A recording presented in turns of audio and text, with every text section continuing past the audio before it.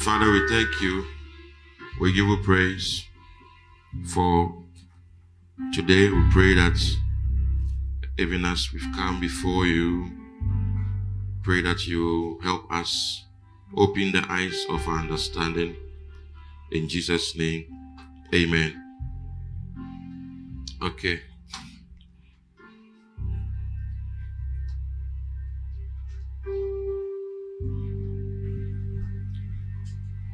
We thank God for today. Uh, last week, we ended the first session. We ended the first session, and today we are starting the second session of the course, which is leaders and personal development. Leaders and personal development. That is the the the session that we've started today. But today we are looking at knowing who you are. Knowing who you are. So it's important to uh, have a fair idea of who you are. Um, when I say who you are, I'm talking about many things.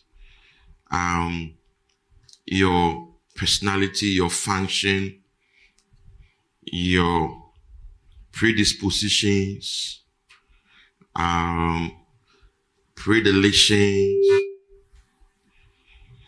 your strengths, your weaknesses, and all.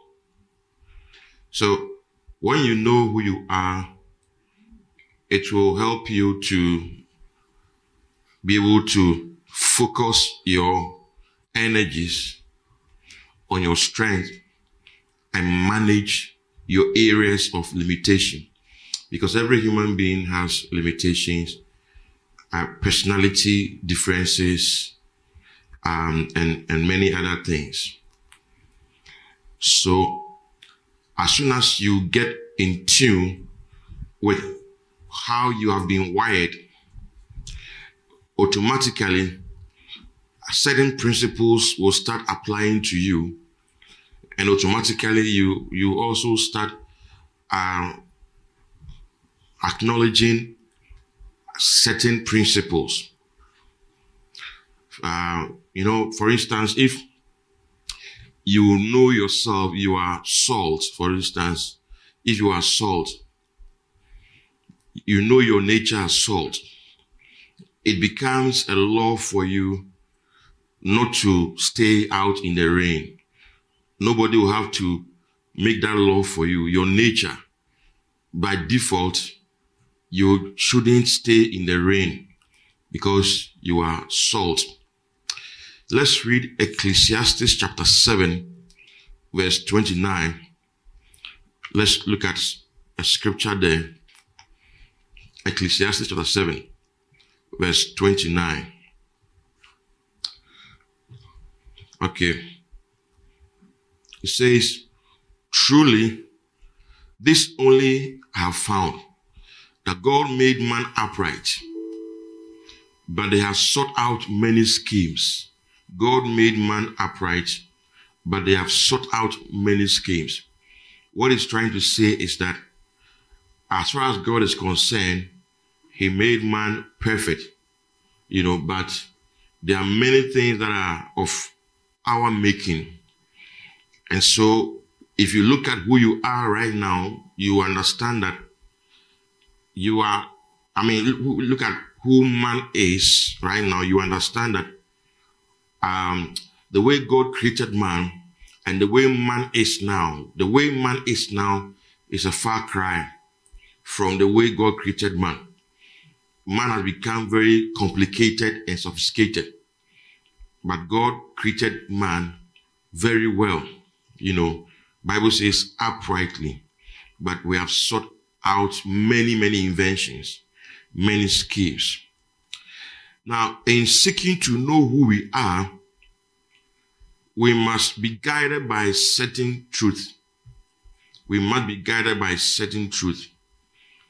And uh, one of the very first things we must understand is the difference between nature and what we call nurture. So nature and nurture. Nature, N-A-T-U-R-E, and then nurture, N-U-T-U-R-E. The two are not the same, and uh, their meanings are, are far apart. So, uh, nature is talking about the things that God gave us, how God made us. You know, we all know when we say something is natural, it means it is God given. It was created by God.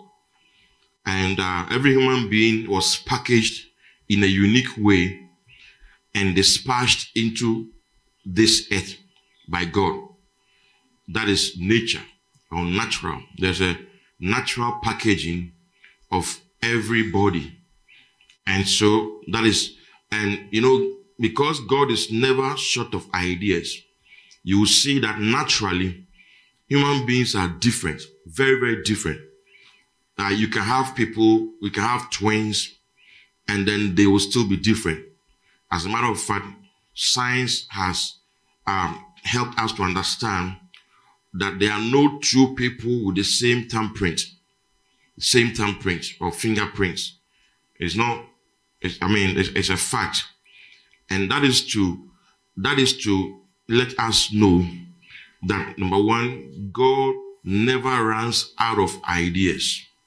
And that number two, every human being is unique. Same way you don't have the same fingerprints as the other person. Uh, it's the same way you are also unique and different from the other person. And everybody is also a unique blend of many things. A unique blend of many things. Naturally speaking, naturally speaking. Okay, so so you can write nature on one side and then nurture on another side nature on one side, nurture on another side. And under nature, under nature, you can write personality, personality.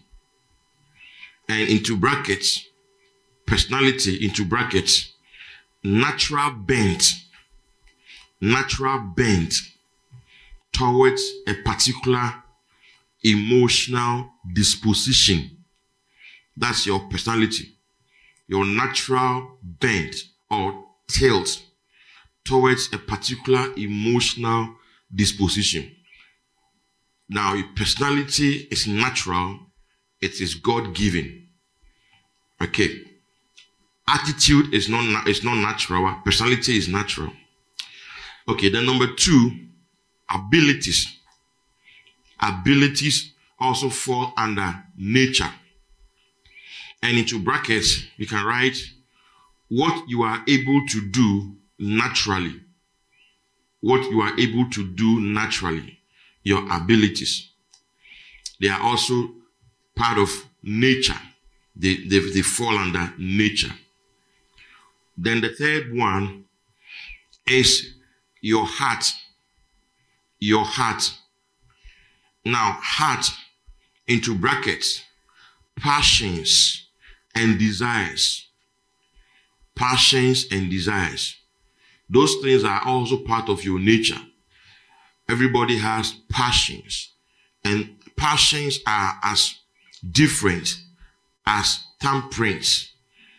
They are, they are as different as human beings. You know.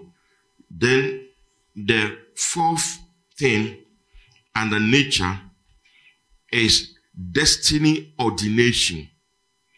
Destiny ordination.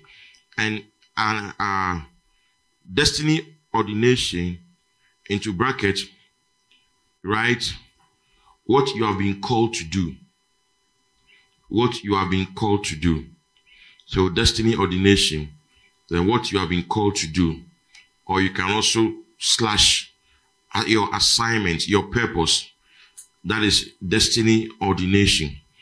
All these things uh, they, they make up your nature. Your nature. Okay. Now, then we come to nurture. N U R T U R E. Nurture. And nurture speaks of how we have been affected by our environment. How we have been affected by our environment. So nurture is talking about the impact of our environment on, on us, on our uh, God-given personality, abilities, hearts, and destiny ordinations. Our thinking, uh, human beings are largely a product of their thinking. Everybody, Bible says, as a man thinks in his heart, so is he. So, your thinking, you see, how, how you see things, how you see things, uh, is because of who you are, who you are, or who you have become.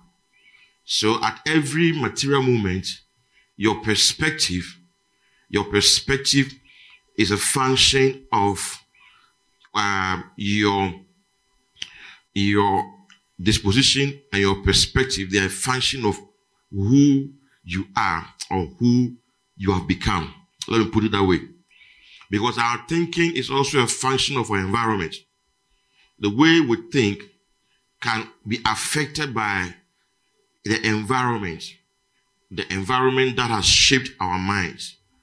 So you can think in a particular way because of the environment that has shaped your mind.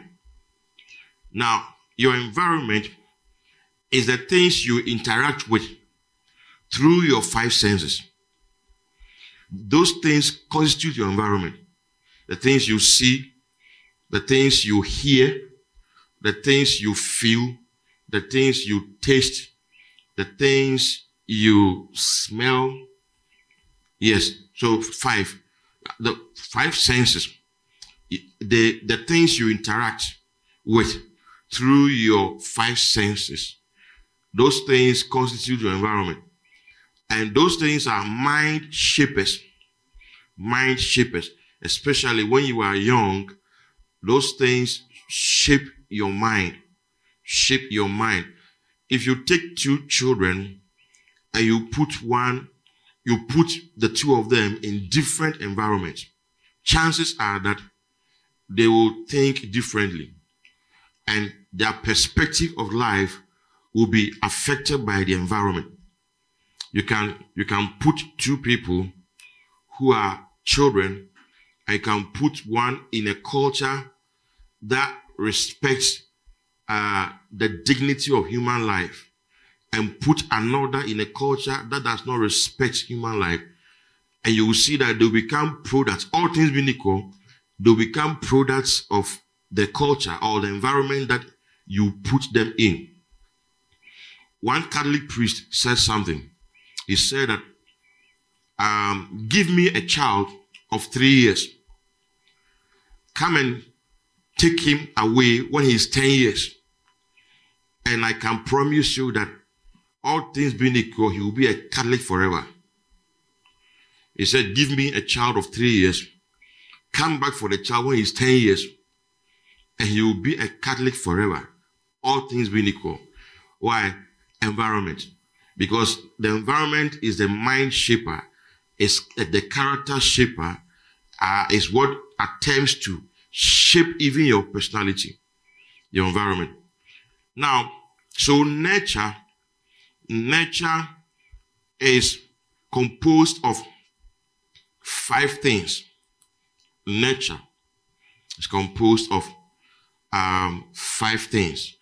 Okay, say six things actually. All right. The first one is association. So now I'm defining your environment. I'm defining nurture. What constitutes nurture? I've defined what I've, I've enumerated what constitutes nature. And I'm going to enumerate what constitutes nurture. The first one is association. your association into brackets, you can write family, friends, loved ones, your association. Association is relationships. The, that's the first thing under nurture. Okay, so your family, your friends, and the people you interact with, your loved ones, they form your association. And it's one pillar of your environment. So when I talk about your environment, these are the five pillars of your environment. Second pillar is traditions. Traditions. Now, traditions, um, by traditions, I'm talking about, so into brackets, into brackets, I'm talking about practices. Practices. Okay. Practices. Then methodology. Methodology. Okay, that's tradition. And then routine. Routine. So traditions, I'm talking about practices. So you'll see that the reason why the Catholic priest said that the child will be a Catholic forever, one of the reasons is these, these five things. Because association is uh, one, then tradition that the child is exposed to. In First Peter 1, 18, Bible talks about traditions that we receive from the fathers. Okay, it says, um, knowing that you were not redeemed with corruptible things like silver or gold from the aimless conduct received by tradition from your fathers. It said the aimless conduct was received by tradition, which means it was received through the practices they teaching us or we looking at the things that they used to do, you know, their routine, their methods, their way of doing things. Those, we inherit those things.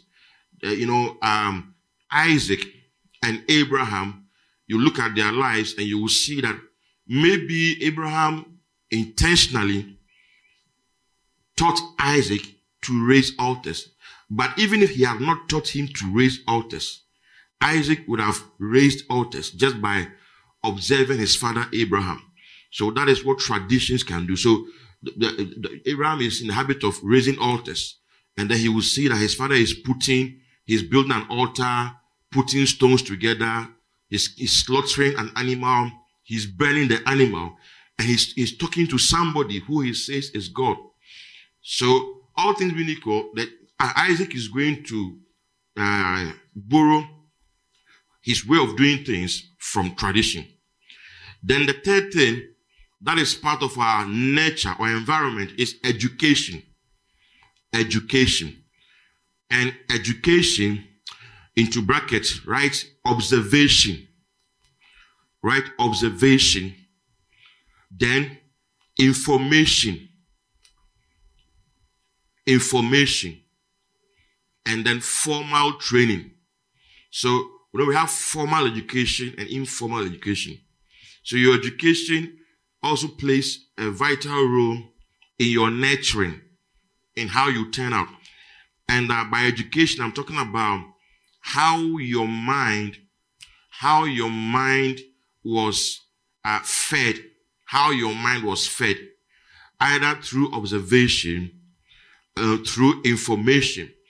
Now, if you are exposed to, let's say, the radio, the radio, you will see that there's a certain kind of um, there's a certain way that the radio disseminates information or the certain way that they pass on information. Okay if you were a child and uh, you were you were raised by tv and radio you chances are that you you will start thinking along a particular direction. Because number one not all that they show on tv and radio is true as a matter of fact, many of them are lies. Many of them are not real. Many of them are staged. Many of, many of them are made up. You know, so um, if if you have received all your information through radio and TV, chances are that you are going to end up living a lie. And um, the lie is going to make you frustrated because the things you see, the way you see how that somebody can jump from a three story building, and you think that human beings, every everybody can do that, you know, and so you you also jump. Then reality will cut you down to size, and then you realize that the one who jumped from the three story building, it was camera effect. It wasn't real. Okay, so uh, information. So how you go to information, and then the source of your information, they shape your mind, especially when you are young. And not only when you are young, even as adults, as adults, we can decide to allow the, the uh, wrong sources of information to shape our thinking. It's not only children. Even adults are influenced by wrong sources of information. Why do we have fears? Why do we have anxieties? You see, it's because of the information that we choose to believe and we choose to live by. And the things that appear so real to us, you know, so if you are, you are living your life, for instance, and you are responding to life's issues based on African movie and um, uh, their, their, the information they release, you will see that your life is going to be a reflection of that, and you are going to be limited by what they show on in African movies. You are going to be superstitious. You are going to be afraid. You are going to be paranoid. You see, you are going to be depressed. It will always look as if the devil is winning. Fear will grip you. You know. Then the fourth, the third thing, the fourth thing is events and circumstances. So under nurture, nurture, you see events and circumstances. They can affect your life. That's, that's not nature. That is nurture. So nature is intact. Nature is intact. But nurture, under nurture, events and circumstances can affect your life. And into brackets, write experience. Experience or experiences. And then experiments. Experiments. All those things are part of nurture, part of that, your environment, things that will shape your life and affect your life, your experiences. Um, when when you were a child, your right brain is more active than your left brain. Your right brain is the one that is responsible for creativity. That, that can that can believe all things, that can see all things. That's your right brain. So when you tell a child that I'll buy you an aeroplane, the child has no reason to doubt. You know, the right brain, as far as it's concerned, the right brain will only imagine. That's where our creativity comes from, our imaginations. That's where they come from. Now, your left brain, that's where reality, reality emanates from.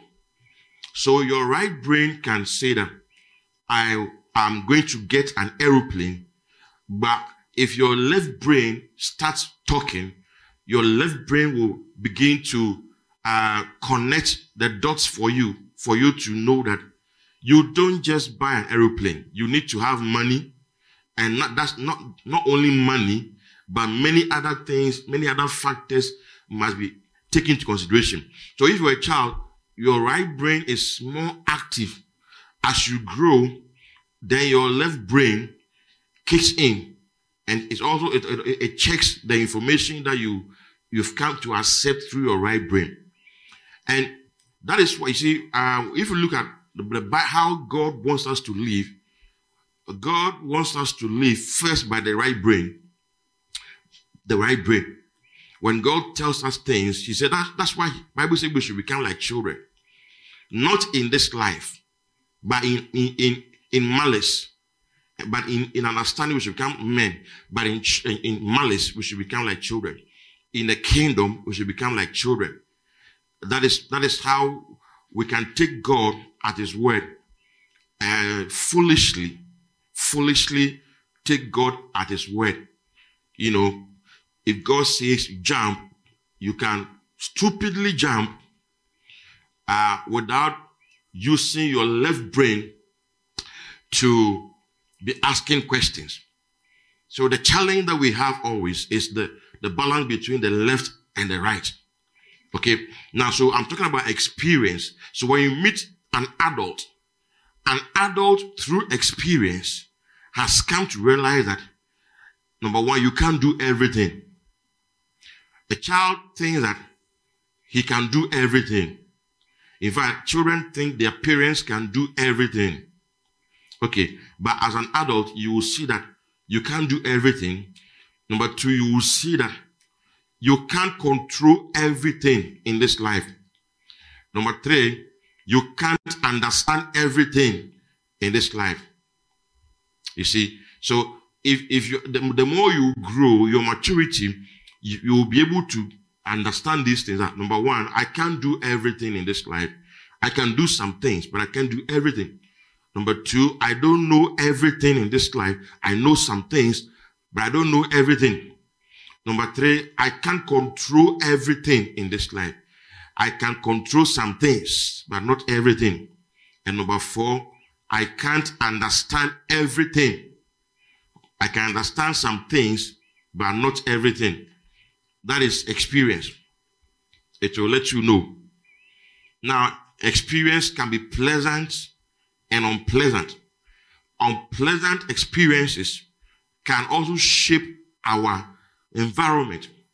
And then pleasant experiences too can shape our environment. Then the, the, fourth, the fifth one is choices. Choices. Choices is also part of nurture. And that you are a sum total of the choices you have made so far in life. At every material moment, you are the sum total of choices you have made. You are here this morning because of a choice you made. Okay? What, what, whatever you are doing now, or most of the things you are doing now, uh, is as a result of choices you have made over the years. In fact, sometimes the job you are doing is as a result of the course you chose to study. So you see, cho- your, your choices, your choices will affect the direction of your life, whether you like it or not. Um, wrong choices will affect you, and then uh, good choices will also affect you. Whatever you, whatever you do in this life, choices will affect you. Your n- nurture, choice is part of nurture. Then the last thing under nurture, which is the most powerful thing under nurture, is encounters. Encounters. Encounters. By encounters, I'm talking about influence from things, people, happenings that are imposing. That are imposing. Those are encounters. So people, people become products of their encounters. Maybe you encounter, you, you will encounter one person and then your, your whole mindset is changed. You can encounter one situation in life and that will be the game changer. For some people, they would have become products of the environment, but for the encounter they had with the Lord Jesus. Then for others, others also, they changed their lifestyle when they went to prison. That was, that was, that was an encounter, something that is very imposing that affected how they, they turn out. All things being equal. Okay. So, then we move on to the impact of nurture on nature. nurture has a lot of impact on nature. So, whilst nature determines your purpose, nurture can affect the fulfillment of your purpose. So, you, like Jeremiah, you can be packaged as a prophet to the nations, like Jeremiah, set apart by God as a prophet to the nations, but nature and your environment can change that, can make sure you never fulfill that purpose. When you see madmen walking about, don't think that they, God did not plan for their lives. They had purpose. They had things that God had determined that they should do or be. But nurture is what made them so. So nature determines, nature determines your purpose, but nurture can determine the fulfillment of that purpose. Now, somebody can be destined for great things, but can end up nowhere due to association, wrong association. Wrong association can cancel, can cancel uh, the fulfillment of purpose because they can divert, it can divert your, your attention in your direction. So, number two, nature gives you your job description, but nurture empowers you to do the job in life. So, na- nature will describe for you what you must do, but it's nurture that will empower you. That's why we must understand these factors and then how we, we how we can also, um, despite all these challenges, we can also rise above the limitation and uh, respond to nature, respond to destiny ordination, respond to abilities, respond to how God created us, and make the most out of the, the most out of it. Now, when it comes to nature, the most important part is destiny ordination. The most important part is destiny ordination. What God designed you to do before the foundation of the world. That's the most important part. Uh, when, when, it, when, it, when we come to nature, among the things under nature, like abilities, personalities, hearts, destiny ordination is the most important. The most important. All the other factors spring from destiny ordination. And uh, God determines purpose before plan. God determines purpose before plan. His plans are suited to his purpose. His plans are suited to his purpose. Now, if you take a car, for instance, a car, let me use a car as an example. What is the purpose of a car? What is the purpose? Or why was a car made? Why did they make cars when they started making cars? The purpose of a car is to transport people and goods from one location to the other. That's the purpose of a car. But the purpose of the car then gave birth to the plan.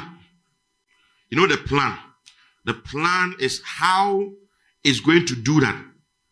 So the purpose is why, why it was made. And the plan is how it's going to function. So the one who made the car, the purpose of the car determined the plan or the design. So the car has been designed with a compartment to carry human beings with a boot or whatever to carry goods. And then because it's designed to move them, it has been equipped with tires. Tires to cause it to move. And then also a system of fueling to cause it to run, to move. So all those, all those are part of the plans. But the main purpose is how to transport people and, and things from one location to the other. So purposes are determined before plans. And the same thing applies to God. God, God determines purpose before plan. Bible says he declares the end from the beginning. Now, if you look at Genesis 1:28, you will see a popular scripture where Bible says um, uh, God from twenty 26 God then, then God blessed them and God said be fruitful and multiply and all that. Then from 26 it says then God said let us make man in our image after our likeness let them have dominion over the birds of the over the fish of the sea over the birds of the air and over the cattle over all the earth and over every creeping thing that creeps on the earth. Now, that this in this scripture, what what is the purpose? What was God's purpose for creating man in this scripture that I just read? What was God's purpose for creating man? What was God's purpose? Dominion. Dominion was God's purpose. But then the plan was to create man in his image. Because it's only God who possesses dominion, what it takes to exercise dominion. Therefore, man had to be created necessarily in God's image so as to make him able to exercise dominion. So the purpose was dominion, but the plan was image. The purpose was dominion, but the plan, the plan was image. Okay. So image and dominion. Dominion comes first because that's the purpose. He declares the end. Purpose is the end. What the thing must do. Okay. In Mark 3:14, Jesus gave Jesus Christ. Uh, the Bible says something about Jesus and the and the, and the apostles. Mark 3:14. It says, um, he he he called, he appointed twelve that they might be with him and that he might send them out to preach. So the purpose, the purpose, the reason why he appointed the twelve was that they might be with him and then he will send them out to go and preach. Okay, so before you go out to preach, you must be with him. That's, that's what it means. Okay, so the most important part of nurture is encounters. Encounters. Encounters can sponsor convictions. And those convictions can override what traditions, education, events, etc. have done. So the most important part of nurture is encount- encounters. So encounters, they sponsor convictions. And these convictions, they can override what, what your environment has contributed. So a person can start off as a product of his environment, but just an encounter with Jesus can override all that. All that. That's why I'm saying that encounter is more like a lifeline in nurture. A lifeline. So that, so that when you are going to become a product of your environment and it's going to be bad and you have an encounter with him, then everything changes everything changes. Okay. Now, so let me talk about the discovery of destiny ordination. The discovery of destiny ordination.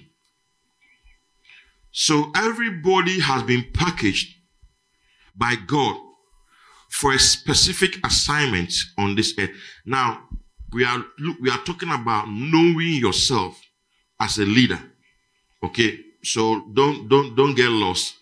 We are looking at knowing yourself as a leader. And we are talking about nature and nurture. And under nature, we have destiny ordination, we have abilities, we have your personalities. Then uh, uh, that is nature, how God, and then we have your heart, passions, and um, desires. That is that is nature. Nature, how God made you. Nature. Then we talk about nature, nature as how your environment will shape you and will influence even what is natural, what nurture made you, or what God determined you to be, how your environment. And uh, under nurture, we saw encounter, encounter as the most important factor under nurture. Now, under nature, we say destiny ordination is the most important factor under nature. And we are looking at what destiny ordination is. And I'm saying that everybody has been packaged by God for a specific assignment on this earth. And God's original design for you is your destiny ordination. And your destiny ordination is a matter of discovery, not decision.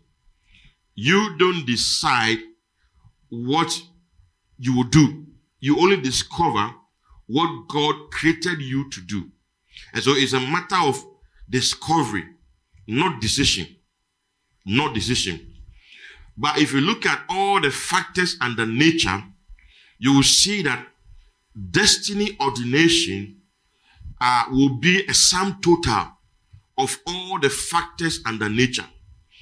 In other words, you will see that your personality, your abilities, your passions were all given to you because of your destiny ordination.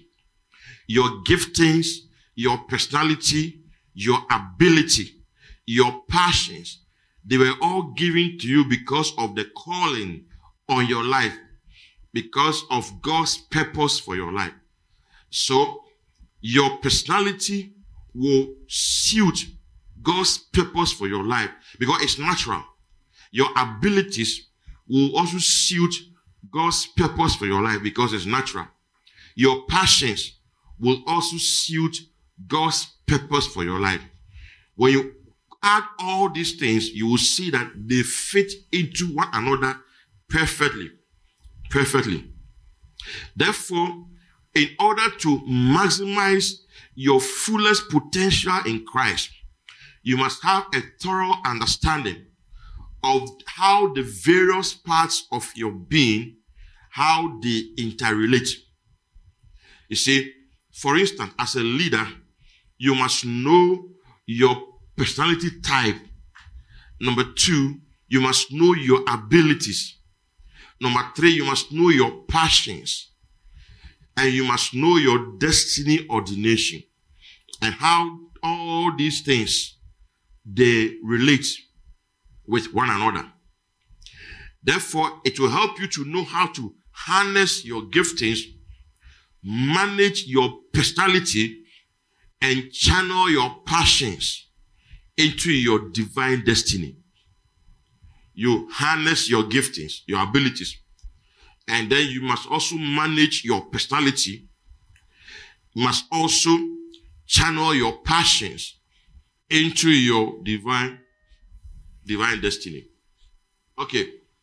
So we are going to do something like um, a profile, human profile. So individually, you are going to put certain things down. That will help you to know, get in tune with, get in touch with who you are. It's very important that you understand. Very, very important. You see, sometimes people are deceived into thinking that once you are born again, then it means that automatically everything about you is just going to fall in place. Forgetting that the Bible says that when you are born again, you must renew your mind. The renewing of the mind, that is what will help the believer to harness the potentials of the new birth. Otherwise, the new birth is is give it to me. The new birth is is it will just remain in your spirit. Will just remain in your spirit. Your your mind will not be affected. You will die and go to heaven, but you cannot fulfill purpose if your mind is unchanged. You you will die and go to heaven, all right, but your personality can be a hindrance to how effective you become in the hands of God. If your mind is not renewed, you will die and go to heaven, all right, but you will be a failure on this earth if your mind is not renewed. And as part of renewing your mind, you must know how these various aspects of your being, how they interrelate and how you can manage them. So we are looking at abilities. So human profile, can write it down, human profile, your, your own profile. Now, we are going to look at abilities. Abilities. See, the giftings that God has given you. Everybody knows the gift that God has given you. I'm talking about natural giftings, natural abilities, not spiritual gifts. That, that, that will also come, come, come uh, that also be part of your profile but we are first looking at natural abilities. So, what are my gifts? What am I able to do naturally with no or little help? That is, that is your gift. Simple. Anything that comes to you naturally, you are able to do with no help or very little help is an ability. And it is God who gave it to you because of your destiny ordination, your calling. Now, many people think that our talents, what we, as we call them, they are not important. They are very important. Any talent God gave you, He gave them to you because of your destiny ordination. Now, I usually use the head, the hand, and the feet to describe natural gifts when I used to teach Sunday school, I, I always used the head, the hands, and the gifts to describe natural gifts. And the reason why I, I did that was in the Bible, you will see these three parts of the body coming together as more like a summary of the human body. Your head, your hand, your feet is a summary of your body. So, um, your body literally is able to function, you know, because of these three, these three things. Okay. That's why when Jesus was washing their feet and he got to Peter, Peter said, Lord, you will never wash my feet. And Jesus said that you don't know what I'm doing to you. If I don't wash your feet, then you are not part of me. Then he said, Oh Lord, then not only my feet, but my head, my hands, and my, my, my feet. John 13, 9. He said, Not only my head, not only my feet, but wash my head and my hands also. Simon Peter said to him, Lord, not my feet only, but also my hands and my head. You see that he didn't, he didn't say my back, my chest, my stomach, my he said my head, my feet, and my hands. So these are these three, they summarize your entire body. First Corinthians 12 21. Look at how Paul also summarized the body, the body parts. He summarized the body part um, with these three. These three. It's 12 21. And the eye cannot say to the hand, I have no need of you, nor again the head to the feet, I have no need of you. You see, the eye is in the head, then you see the hand, then you see the feet. So that's that that that, that that's why I chose the head, the hand, and the feet to summarize gifts. Um, well, any gifts you have, you may be able to categorize them under these three broad headings. Okay. So the head refers to all the talents that flow out of the mouth and your brain. All the talents, all the natural gifts that flow through your mouth and your brain. That, that is, that is uh, what, what the head stands for. So, singing, you know, people can sing and it's a gift.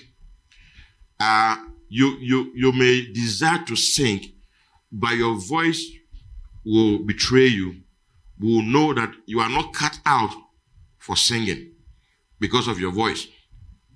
Then speaking is also a gift.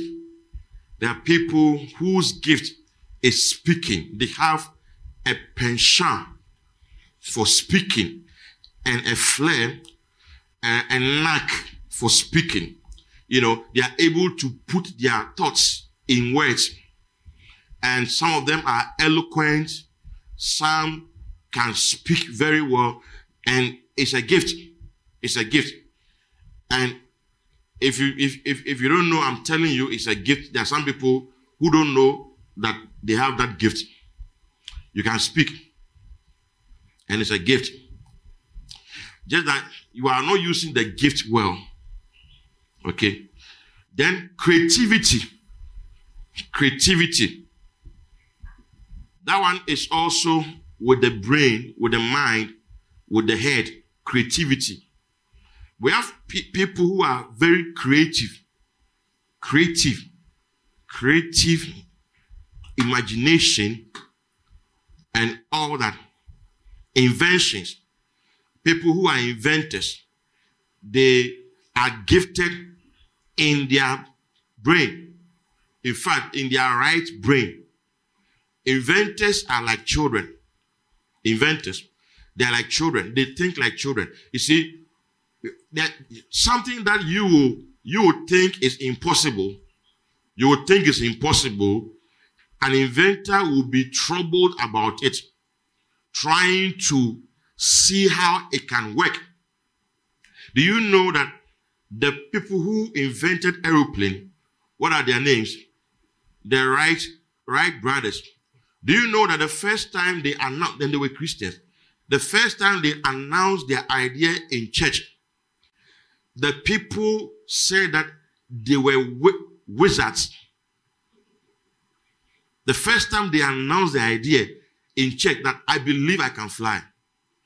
I believe I can fly. And they said that you are a wizard. That's why you are demonic. Because they didn't have a grade for that. How can a human being be floating or suspended in the air without any supernatural powers? It's impossible. So the first response was, it's impossible. But you see, it never left them. And they kept on dreaming. That's why inventors are dreamers. So sometimes you, you think that they are childish because of the way they think. But most of the, most of the things that have been invented, they were by people who were using their right brain. Right brain. People who are gifted in, in the brain, for instance, the right brain, they become authors. Authors, creative writing, people who write novels and all that they are they are gifted in their right brain. You have to be able to create a story, you know, and uh, the way they're able to create and expand and sustain your interest, literally, from beginning to the end.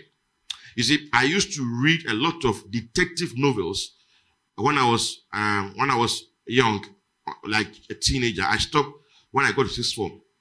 I used to read many detective novels of you know how a serial killer will be killing people, and then an investigator will unravel the mystery, and then he will you know he will get the person and all that. The silence of the lambs, gone but not forgotten. These are top, top detective novel, novels. Some of them have become uh, movies and all that. And I used to read them. And you, you can see that this thing is just made up. Somebody has created it. But it looks so real. It looks so real. And it's like when you start reading, it, they will they will grip your interest from beginning to the end. That is a gift. It's a gift. There are people who can create things with their mind. They are gifted with the right brain. Yes.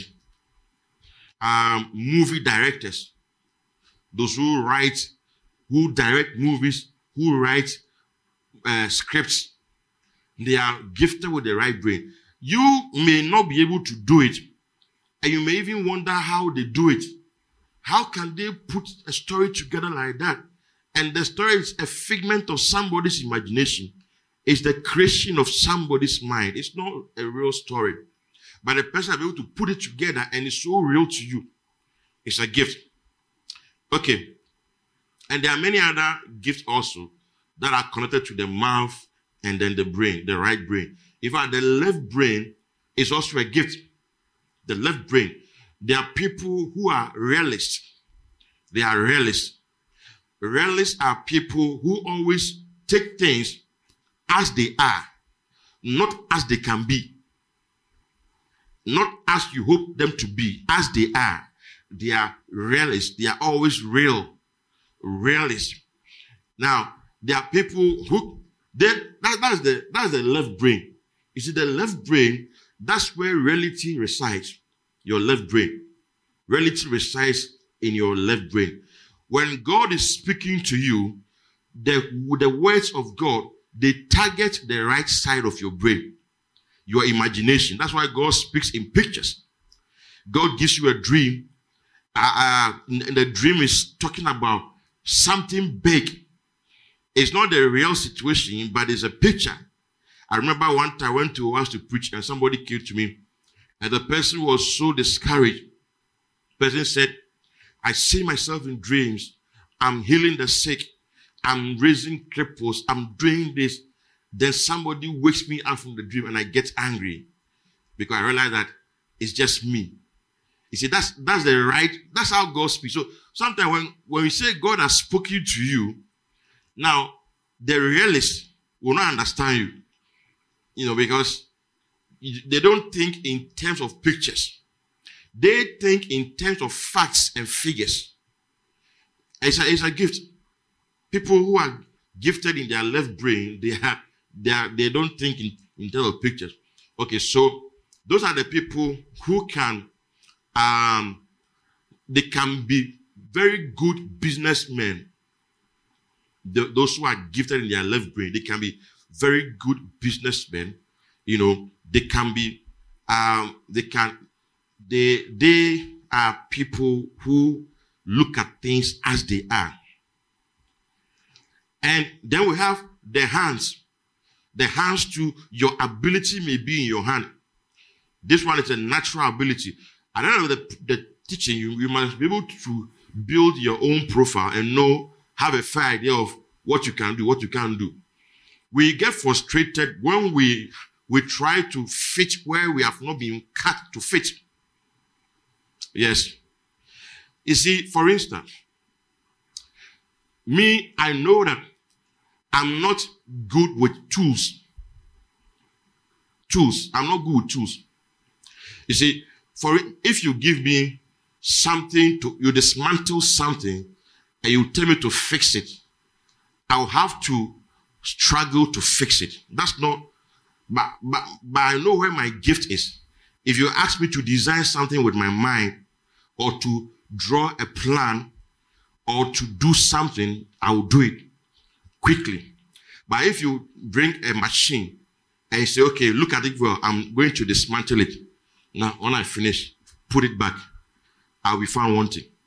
That's not where, that's not where my strength is. You know. So you must know. But there are some people who are gifted with their hands. They love to handle tools. They love to handle tools. When they come right now, when they come here right now, they can, within a short time, they can be, I mean, they can pick how to fix things, certain things. Like these gadgets they fix and all that. There are people who are like that. You know, they, they, they, they can fix. If you teach them within a short time, they will just fix. Others also will, will struggle. with it. If you if you give me a map to follow, I may struggle with a map. Yes, a map. A map. This is a this, this is the, the plan. Let's translate it to the ground. I always take time. I, t- I force and I take a, a lot of time to read and to translate to the ground. But if it's about picturing, imagination, creating something, that one I don't take much time. I can just create something for you right now. I can just create, paint, paint a picture in my mind right now.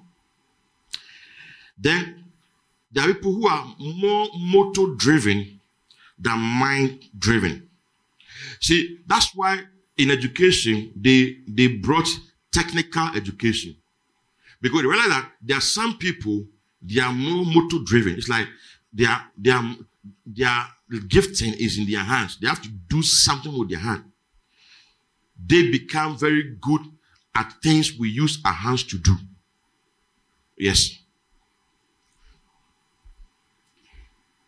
Even designers. You know, there are people who can use their hands, you know, that those who sew, not those who design, but those who sew, the barbers, the tailors. I mean, these are gifts. You can learn. But there are some who have a natural flair. There are people who even started sewing, sewing before they, they had they had uh, formal uh, uh, uh yeah education. It comes naturally. Then the feet refers to sportsmen. People are also gifted in their feet, athletic. Some people are gifted with athletic bodies. I know some people, no matter how they eat, they will never put on. No matter how they eat. And they really eat but it will, never show on their body. They eat pan, but you will not see it. They are sportsmen. They are, they are, they are, they, that's their gift in the feet. Natural gift. Then we have spiritual gift. You must also know your spiritual gift.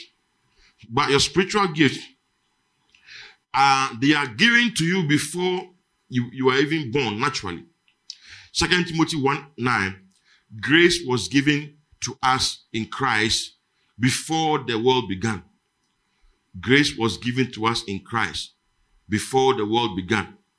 It says, Who has saved us and called us with a holy calling, not according to our works, but according to his own purpose and grace, which was given to us in Christ Jesus before time began.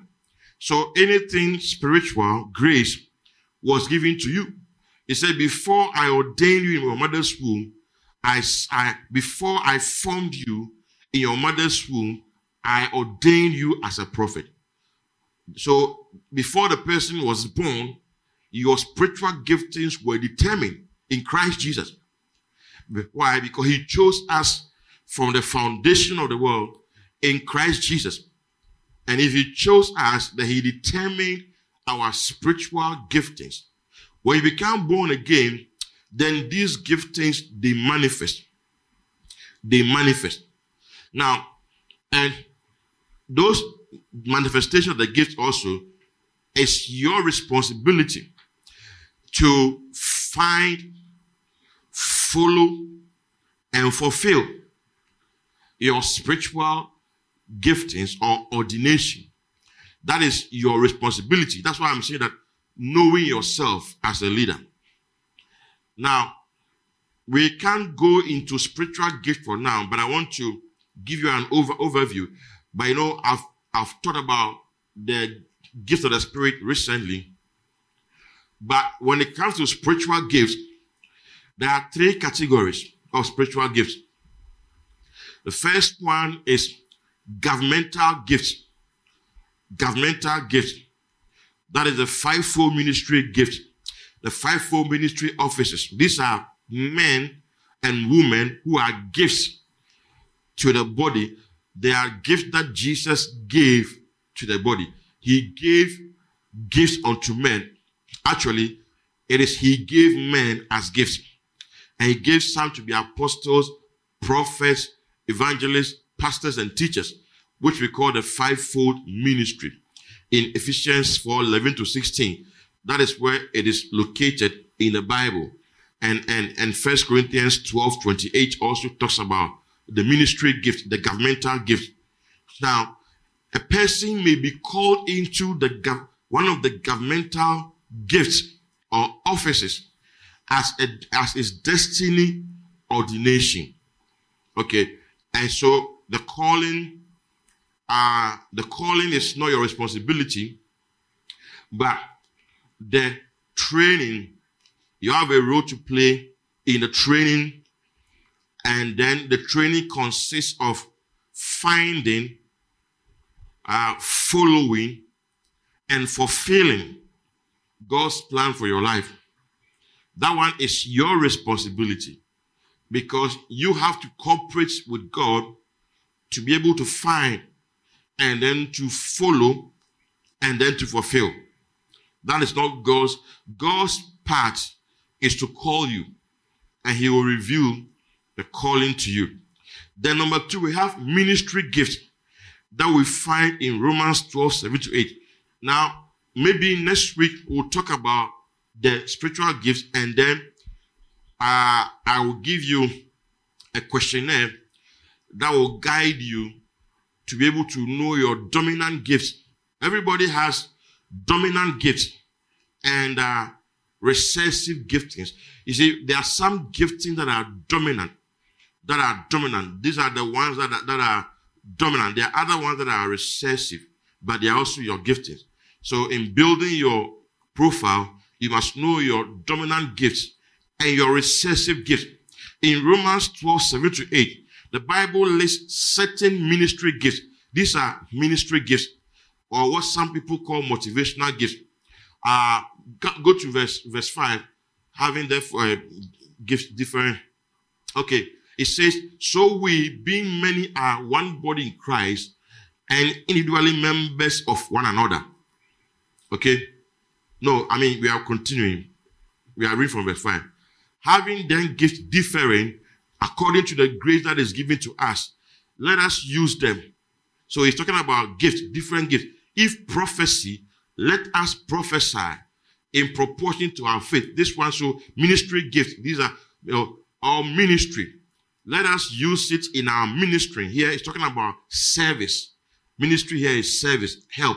So there are some people who have the gift of service. It's, it may be a dominant gift or a recessive gift, but you have it. There, you, you see the kind of things that attract you and how you derive fulfillment, even uh, as, as a believer. There are people who derive fulfillment when they serve. When they serve, they, they always want to serve. It's a gift. And you must develop that gift as a leader and enhance that gift. Then he who teaches in teaching, teaching too is a gift. This, this teaching is not like a governmental gift, but it's a ministry gift, teaching. Not the office of a teacher, but teaching the ability to instruct, to cause people to understand. That's teaching. So you see that somebody may, may have a desire to teach or a flair for teaching. Somebody may have it. It's a gift. It's a gift. Whether it's Bible study or children ministry or church or wherever, the teaching is a gift. There, there are people who even uh, love to teach, even even naturally, they love to teach. It's like it's even as a student or maybe as a as a, yeah, as a student, you will see that they've always gathered their, their fellow, their colleague students, and then they are trying to teach them. You see these, these giftings. Then, uh, he who exhorts in exhortation. Now, exhortation is also a gift. The ministry of exhortation or encouragement. There are people who are gifted like that. An example in the Bible is Barnabas. Barnabas, who was called the son of consolation. When he is around, you see that he can motivate you. He can encourage you. See, people who are motivated, they can really motivate you. They can really encourage you. And some also can preach. You know, well, this one is not the office of an evangelist, but exhorters, exhorters, exhortation. He who leads with diligence, leadership is also a gift. I, have spoken about uh, de facto leaders and, and all that. There are people who are also natural leaders. They love to lead. Now, it's a, it's, it's, it's a gift. It's a gift. Who that who told uh, somebody to go and stand for president? Why is it that not everybody would like to go and stand for president? But there are people who something in them tells them that they must be president. it's a gift. It's not like that something in them pushes them that they must offer themselves to, to, to be voted on. So politics and all it's a gift. When when you are when you are in, uh, in primary school or secondary school, you see that there are people who they they love to be leaders. They love to be leaders. There are people who, who are always running run away from positions. They don't want to face the people, don't want to lead. They always run away. You know, yes. So, but there are some who are born leaders who always love to lead. lead.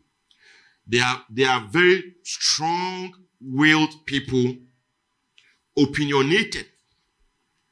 They, they have strong convictions and they are able to convince others to follow their convictions. You, when you watch children, even at play, you can identify those who are leaders.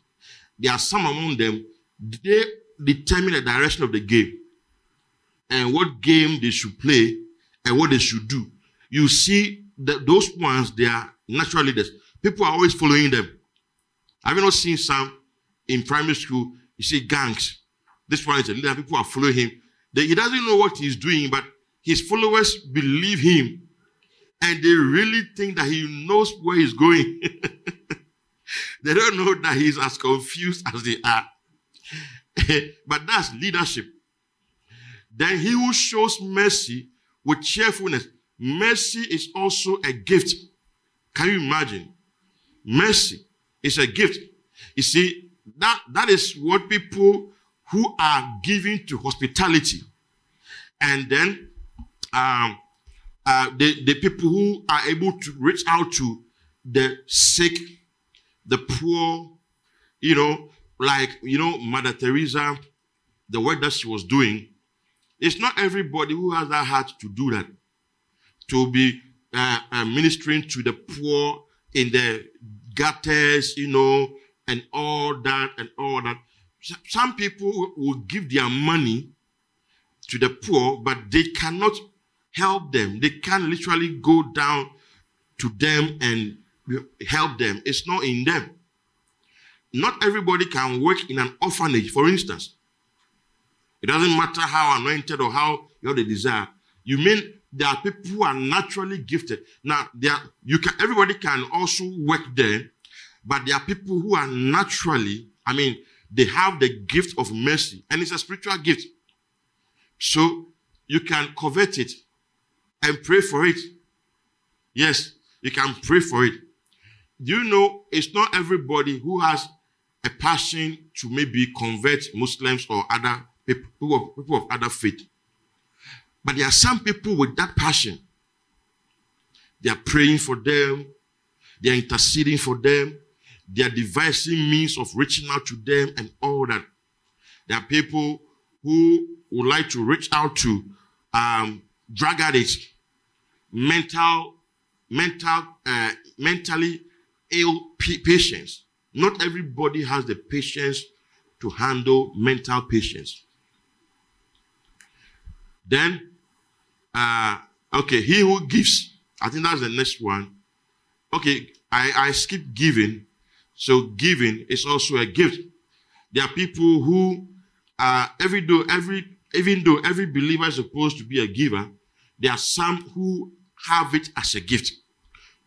Yes, and those ones is they, they God also blesses them more than the average believer because of this gift of giving. It's like they give and they are not tired of giving, and they give and give. And if you give and give, you will get and get. Uh-huh. So that's why God also blesses them. And these are financiers of the of the of the kingdom. It's a gift. It's in fact it's a ministry. It's a ministry. And there, there are people who will not really be praying that, oh God, use me to save souls, use me to heal the sick. But they will be praying that, oh God, give me money to push the gospel. And, and some of them are business people, and God raises them as industrialists, businessmen with big platforms, and all that they are concerned about is how to pump money into the gospel. It's a gift. These are ministry gifts. Then the third category of gifting is the sign gifts. The sign gifts are the ones in First Corinthians 12, 7 to 10. Uh, word of wisdom, word of knowledge, discerning of spirits, gift of faith, working of miracles, gifts of healings, prophecy, uh, gift of diverse tongues, interpretation of tongues. These nine gifts are the sign gifts. Those are the what we call the gifts of the Holy Spirit. They are the sign gifts. We call them the sign, the sign gift. Signs, you know, they, they, they, they show, they, they manifest, manifest. Okay. So in writing your profile as a leader, you must know your natural giftings and number two, know your spiritual giftings. So you can write them down. Now I've not gotten into the details. I'm just giving you an overview today. Then later on, we will go through the questionnaire, not today, so that it can help you to locate your dominant gifts and then the one that are recessive. And you also know that martyrdom is a gift. Martyrdom is a gift. Yes, there are people who are called to be martyrs. If if you have been, if you have a passion, have a passion to send the gospel to Muslims, especially, or to, I mean, you, you, you, you love to die for the gospel. Maybe you were a martyr. Yes. So you, you, that person, don't, don't waste somebody's time. Don't go and marry somebody and to waste, to waste the person's time. Let's say if God is sending you to Af- Af- Afghanistan, Afghanistan, don't come and marry my daughter. Go, go, go. Yeah, you are a matter. Go. You. and you see, that yes, it's true. There are some people who have that, who have that desire. They, they, they have the desire. And yes, like, you know, for saving was a matter, you know, at the early apostles, most of them were martyred. They were killed for their faith. That you have a gift of celibacy also, a gift that enables people to live single throughout their lives. to live single, to live single throughout their lives. Yes. So we, we don't have such gifts in this ministry. Paul, Paul said, I wish that I wish that you were as I am, but everyone has his own gift and his own calling. So it's a gift, it's a gift. There are some that there are some that God did not uh, wire them to get married. They will not see the need. They will not even think about it. And they are so fulfilled. They are so fulfilled being single. They are not thinking about marriage, you know, and it, that even when you tell them, you ask them, it's like you are worrying them. It, it, it, there are some also who are like that because it's not normal. Yes, but I'm talking about those that are normal. There are some, they are like that. It's not normal. Some people, by this, by a certain age, they should be thinking about marrying. But it's like they don't even, it's not part of their calculation. Uh-huh. That one is not normal. But if the person is, he has a gift of celibacy, then you see grace will be given for the person to live single and fully single throughout his life. Yes. Like Paul. Paul never married. Like Sadhu Sundar Selvaraj. He too never married. And he said the Lord Jesus told him not to marry. And yes, and so he's single. He has been single from, I mean, all his life. He never married, never had any girlfriend, never had anything. Yes, and he's single throughout, going to uh, heaven. Some of you are like, no, this gift, I don't want it. I don't want this gift.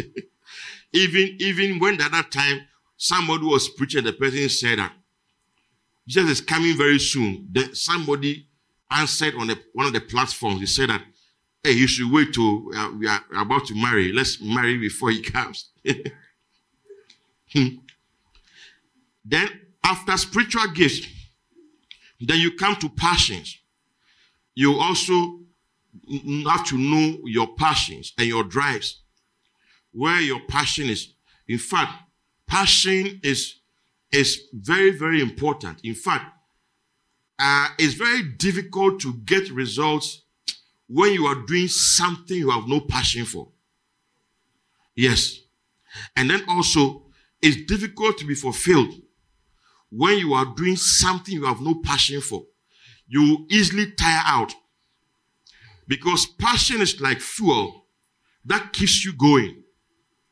Passion and drive is like fuel that keeps you going. All most of the NGOs, with the exception of ones that were formed by businessmen to make money, most of the real, real, real NGOs were birthed out of passion.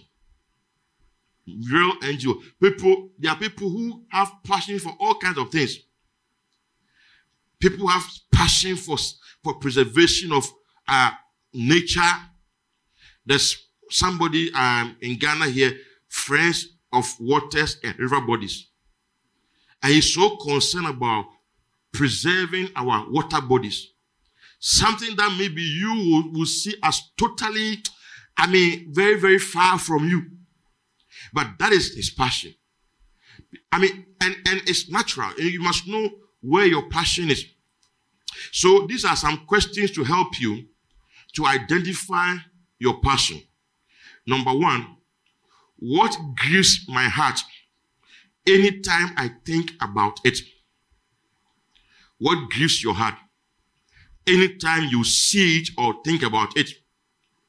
There are people with passion for street children. When they see street children, they have passion there are people with passion for orphans, people with passion for um, for trees, trees, afforestation.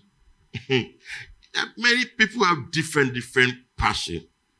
what would I have loved to do if money was not a factor? What would I have loved to do if money was not a factor? It's a clue to your passion. What drives you? You must know.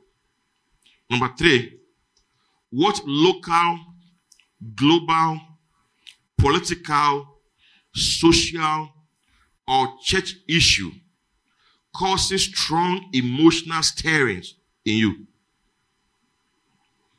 Those issues, when you hear about them, they cause strong stirring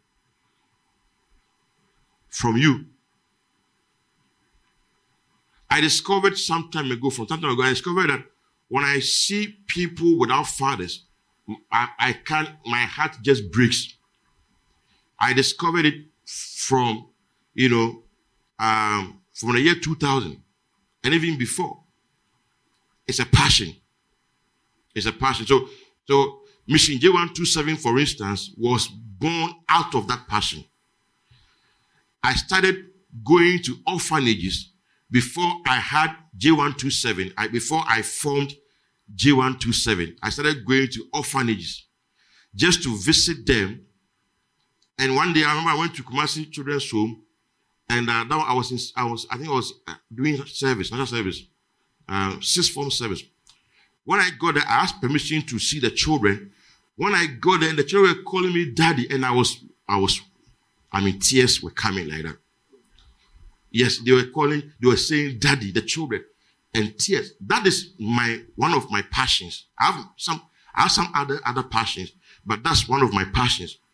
And so J127 is something that is very dear to my heart. Very, very dear to my heart. I don't, I, it's very dear to my heart. So my, my eyes are on the, on that ministry. My eyes are on, because it's passion. There are people too who have passion for, um, mentally, uh, special children. When they see special children, they break down. I hope you know special children.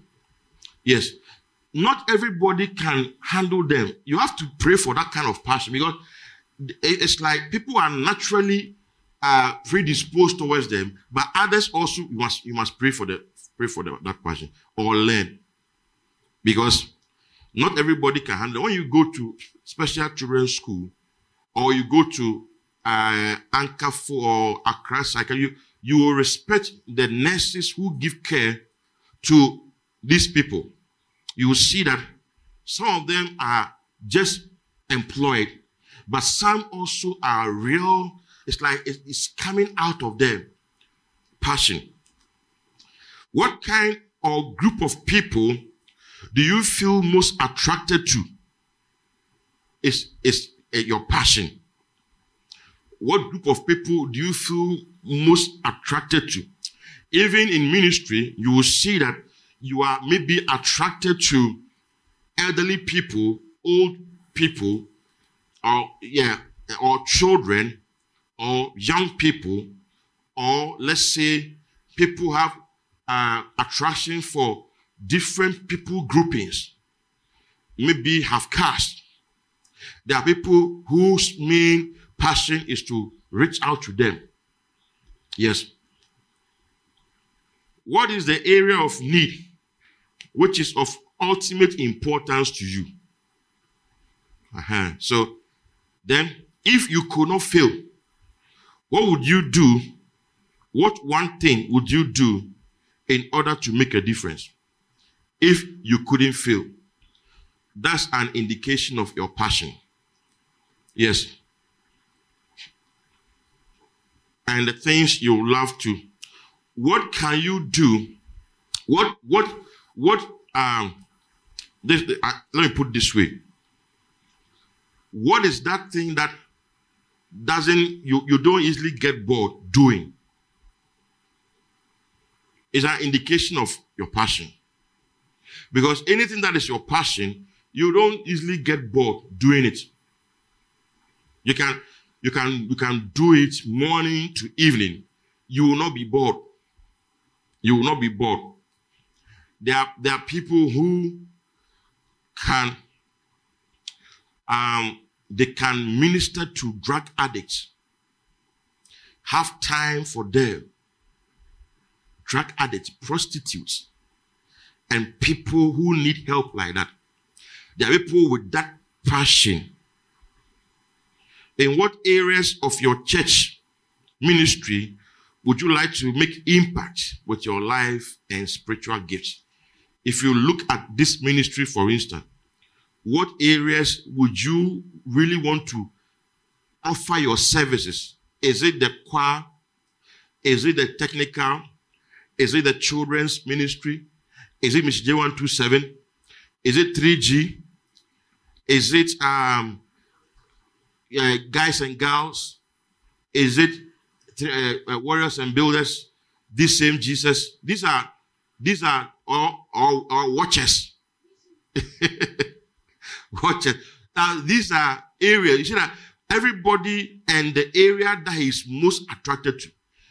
When people come to this ministry, there are some people I know who are the only area in the ministry that they are really, really concerned is Mr. J127.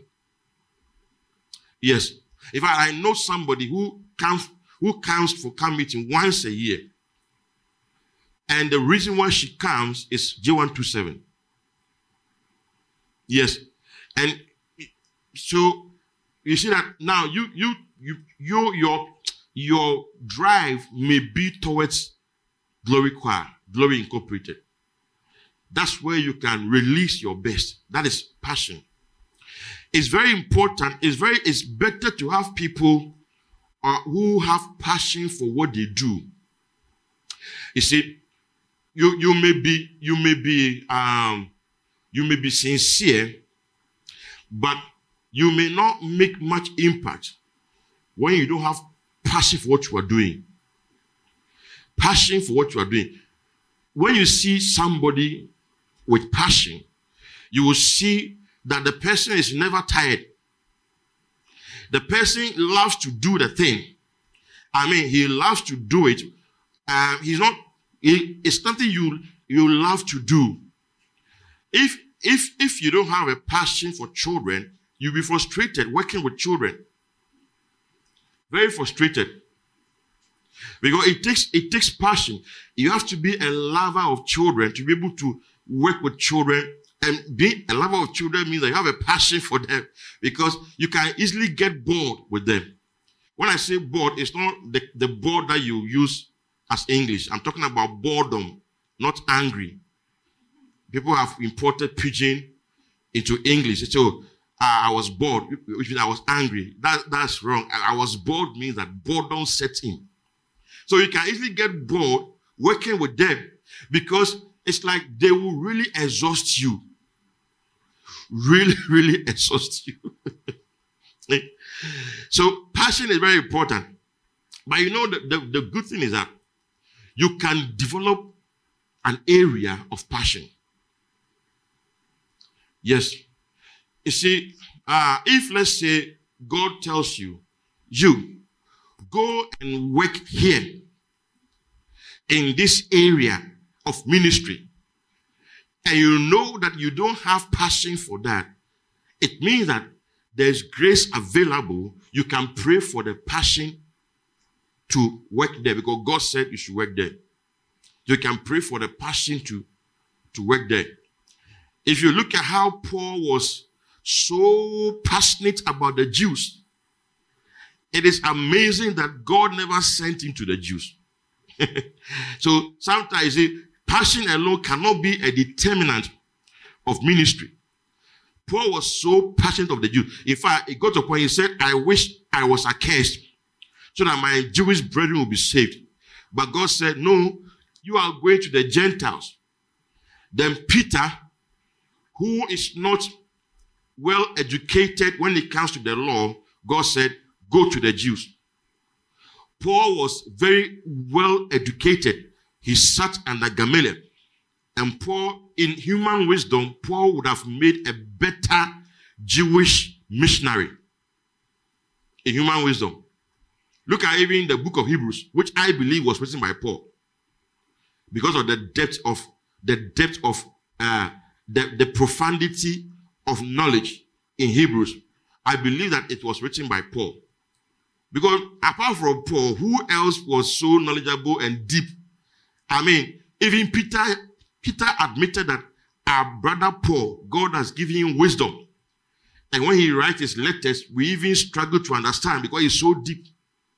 So the book of Hebrews, which talks about deep things like Melchizedek and, and other deep issues, it's, I believe it's Paul. I believe it's Paul. Even though, theologically speaking, um, they say they, don't, they don't know the, the author of Hebrew, but I believe it's Paul. So, but Paul was not sent to the Jews. Can you imagine? And God sent him to the Gentiles. And so, Paul must pray for passion to be able to release the same passion into the missionary work towards the Gentiles. In fact, uh, it got to a point in Romans chapter 1, verse um, 16, Romans 1 uh, 16, Paul says something. um, it says, For I'm not ashamed of the gospel of Christ, for it is the power of God to salvation for everyone who believes, for the Jew first, and also for the Greek. Then verse 17 says what? Okay, no, I mean, go to, um, uh, I think 14. Yeah, 14. Uh, I just wanted to show something. Yes. It says, I'm a debtor both to Greeks and to barbarians. I say, let me let me define passion for you. Okay. It says, I'm a debtor both to Greeks and to barbarians. Why is he a debtor? That is that is passion. He's he's he's a debtor. He's a debtor. I mean, uh, he it's like he owes them. He owes them his life. He has to spend his life for them. Somebody who did not have, whose real passion was toward Jews, but he's now a debtor to Greeks, that is Gentiles, and to barbarians, people who have not even heard of God. But he was passionate about the Jews, both to the wise and to the unwise. Uh-huh. Verse 15. So, as much as is in me, I am ready to preach the gospel to you who are in Rome also. Who passion is first of all a depth. Number two, readiness. When, when you see passion, you see readiness. You are ready to, to do something, to do that thing. Readiness.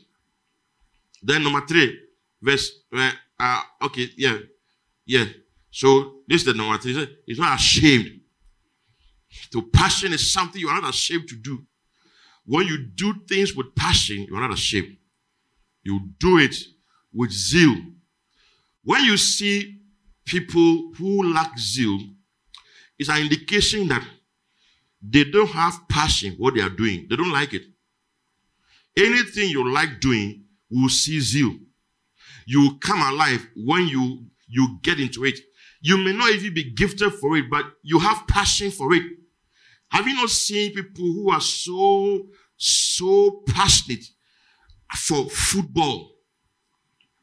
Even when they smell the scent of football, at the scent of football, they come alive.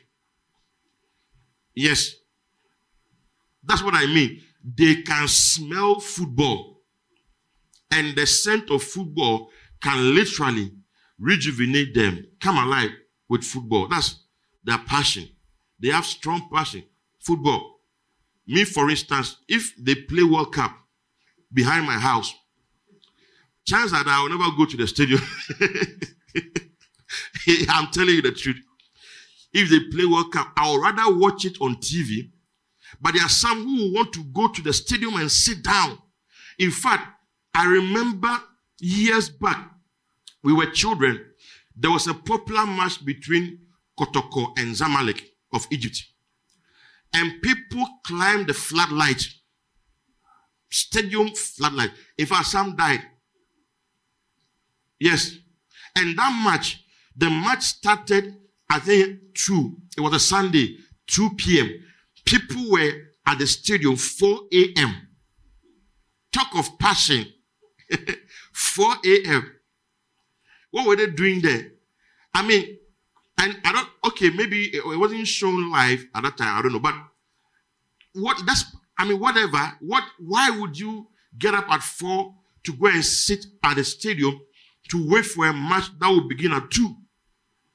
And the answer is passion. And if you ask them, are they going to receive part of the winning bonus? The answer is no. They just love football. That's passion. And it's, it's not wrong it's not wrong. It's only wrong when, when a football match clashes with a church activity and there's a temptation for you to disregard your time with the Lord to watch football. It means your passion has gotten the better half of you. And your passion is coming between you and God. So it's very, it's very important. We need passion. Wherever you have been called to serve, Pray for passion and find out the area that you are most passionate about and serve there. You will see you become effective. because you are passionate about that. Do you know something?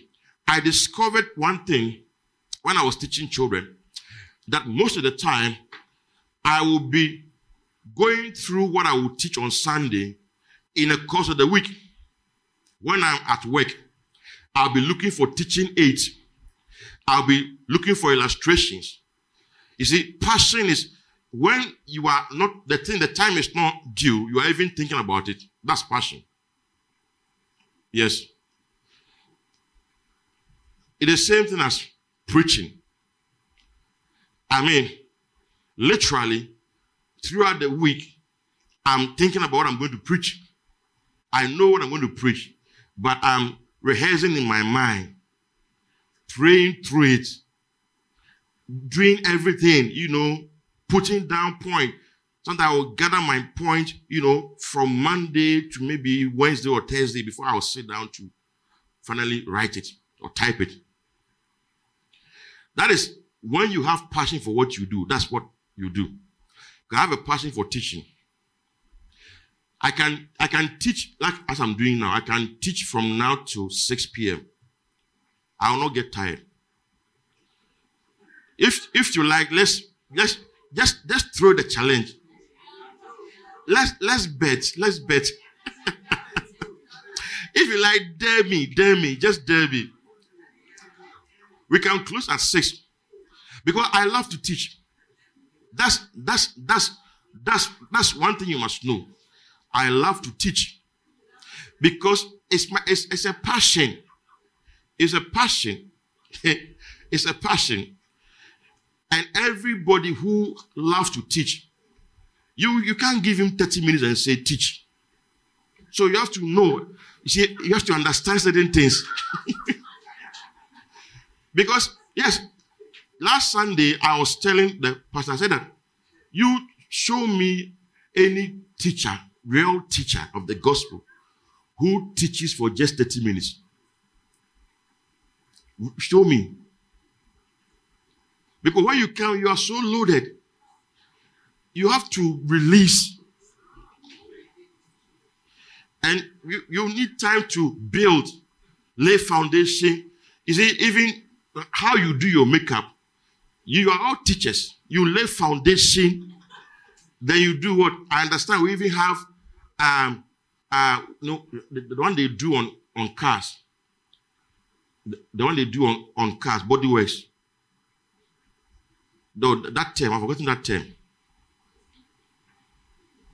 To fill in foundation. Okay. Then we move on to personality. Personality. Okay. So now, personality is very important. You must understand your personality. And here too, we can ask some questions. So now, and again, I'm not really going into details. I'm just giving an overview. You know, because we have, you know, we have the basic personality differences that we all know: sanguine, um, um choleric, melancholic, uh, phlegmatic. These are uh, Greek Greek philosophers who came up with that, and they they they they did that categorization based on body fluids, the fluid that we have in our bodies, the blood, the tears, the phlegm. You know, uh, for the for the sanguine, uh, they have the the blood. Then for the cholerics, the sweat. Then for the phlegmatics, the phlegm. And the melancholics, the tears. So they use these four fluids and then they categorize human personality, uh, human behavior into these four categories. And uh, I believe that is true. Just that we have to also understand that uh, there are there are, there are weaknesses with every kind of personality, and there are also strengths. And what the Holy Spirit does is to help us to overcome the weaknesses as far as, as far as we can cooperate with Him. He will help us to overcome the weaknesses that are related with, the, with our personality. So, Now, but I'm asking these questions. Are you an extrovert or an introvert? That is one thing that you must know about yourself. Now, an extrovert is an individual who gets his um the word I use here is rejuvenation. Or let me say, assuming you were you were a, a, a phone, eh, your batteries are charged as an extrovert when you are with people. An extrovert, they always need to be around people, otherwise, they can get lonely and depressed. That's how their batteries are charged. That's how they are rejuvenated. See, that's that's a, a personality trait. Now, they feel they they always need to be around people. So an extrovert will take delight in public appearances and public places or public gatherings. And they are they come alive when they when they are, they are among people, they come alive. Meanwhile, an introvert will be dodging, hiding behind. They don't really like um, public gatherings. They, they, they get their batteries charged when they are alone. They, they love solitude. Solitude. You see, despite the fact that I love teaching, I when when I talk too much, if it's not teaching, I see too much talking as draining. Sometimes I don't have the edge to be talking plenty. So you, when, when you see me teach you, you may think I'm an extrovert, but I'm not. From this definition, I'm an introvert. Because my batteries are charged when I'm alone. I prefer to be alone most of the time. I, I can I can stay indoors the whole day, not going out, and I will not feel bored. That is how an introvert is. But an extrovert is not like that. Now, eh, being an extrovert or introvert is not an indication of weakness or strength necessarily, but it is how it is deployed into your destiny ordination that is what actually counts. It's not a weakness to be an introvert. And it's not a weakness to be an extrovert. It's natural. It's natural. If I tell you the effort I put into speaking in public, you will not believe it.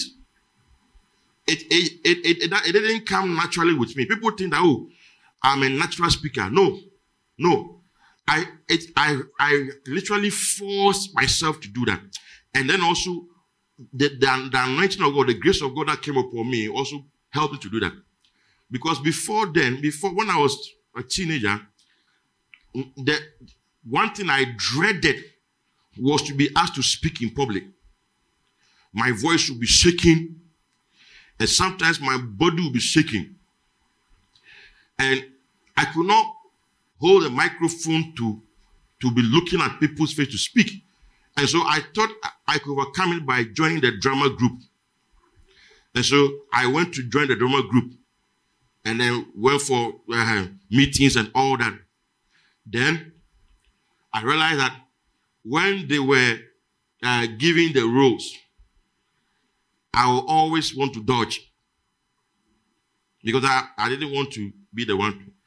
But then when I got to know the Lord as a teenager, then started listening to God's word, and then uh, church activities, evangelism, leadership, and all that. I then that thing left. It, it, it, it left. It left. Then number two, are you a thinker or a feeler? You must also ask yourself. Thinkers are more logical than emotional. Thinkers. They, they like to deal with objective facts. their feelings are not all that visible thinkers in decision making. But feelers are more emotional than logical. Feelers like to experience things and they are more subjective. And if you look at this, the natural disposition of most men is that they are thinkers and most women are feelers. But that is just general. So, a man, naturally, generally, men are logical and women are emotional.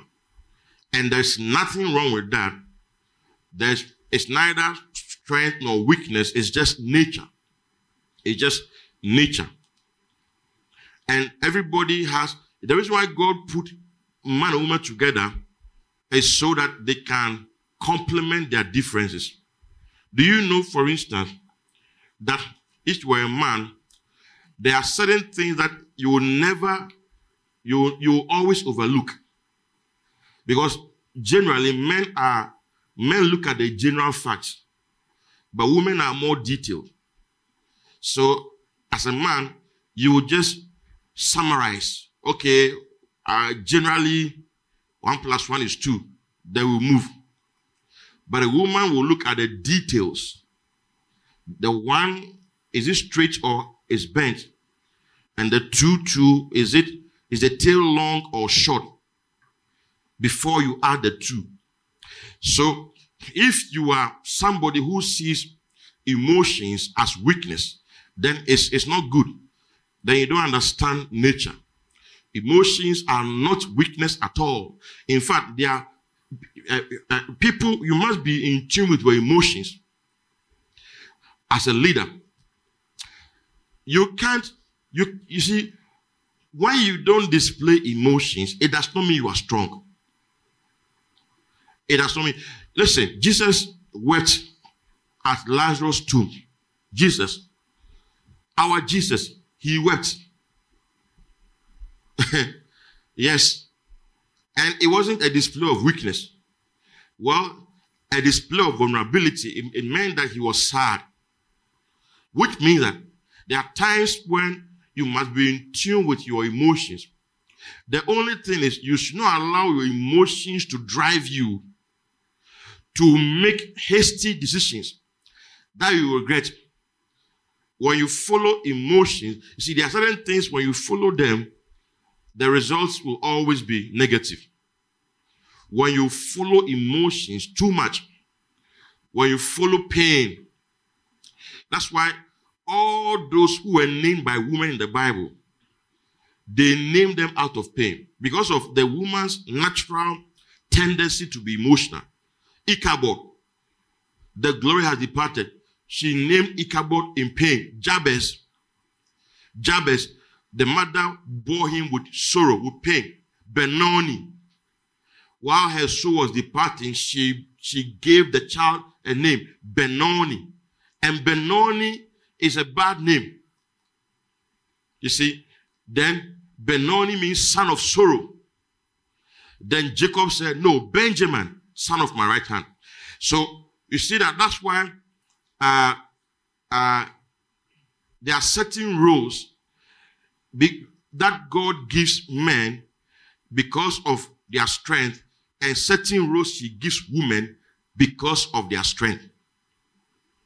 Yes.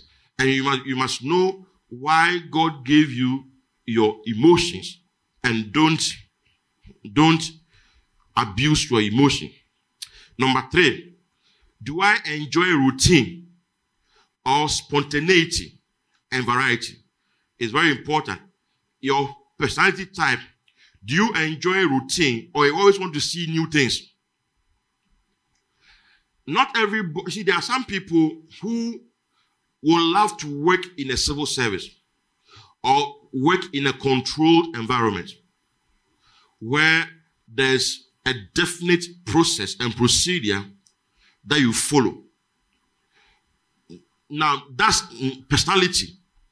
There are people who who cannot work in a free environment where which involves risk taking thinking on your feet, responding to pressure, responding at little or short notice.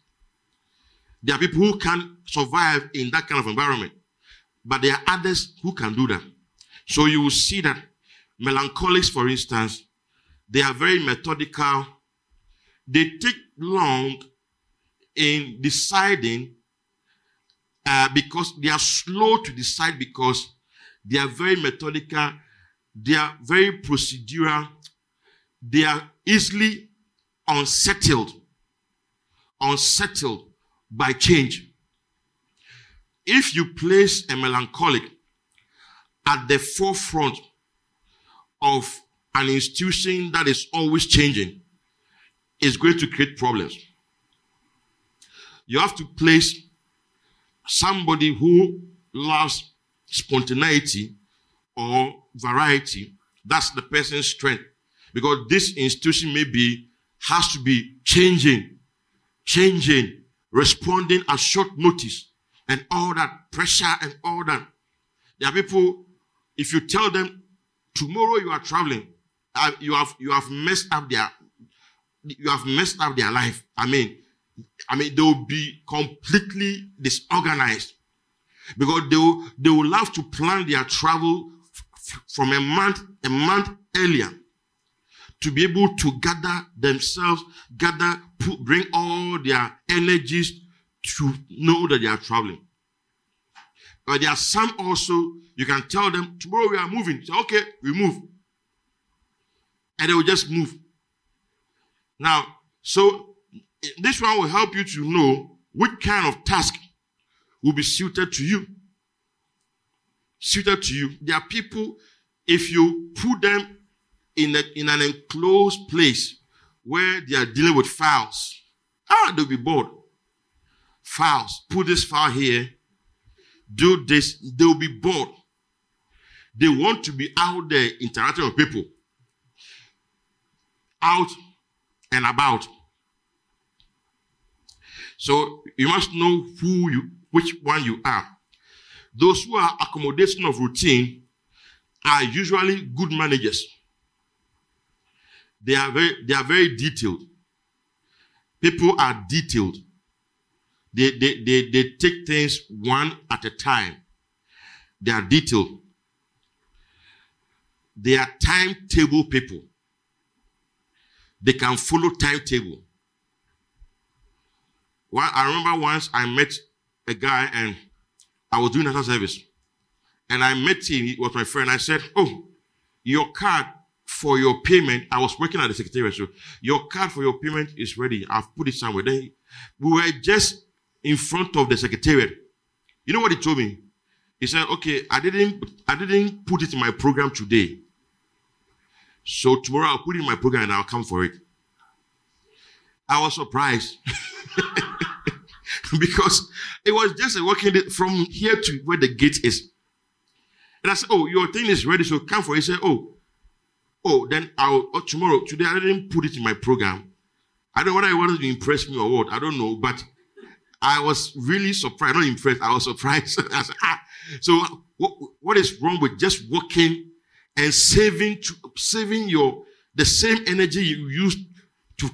But see, that is how some people are. You must understand. There are people that you must give them enough notice to be able to pull them along. You should, you can't just pull them along like that. No, there are some people you must give them a month's notice. So, but you see, you can always change. You can always change. If I look at myself, for instance, there are certain things I do, they are not in line with my, my temperament or my, my personality. Yes. You, you can you can you can easily get me wrong because for instance, I, like I said, I am talking right now, but I love solitude. That's my real nature. My real nature is to stand somewhere quietly and be thinking about myself.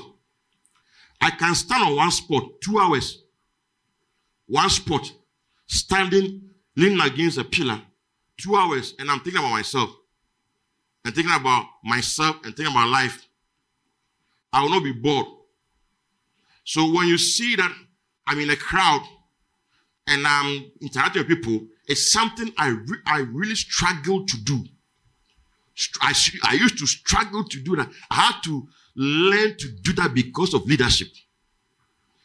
Yes, so I, I'm, I'm, what I'm saying is, you don't say, you know, there are no stereotypes, had a, had a, had a uh, fast rules. You don't say, oh, for me, I'm this, I can't change. Sometimes the demands of your job will mean that you've, you change.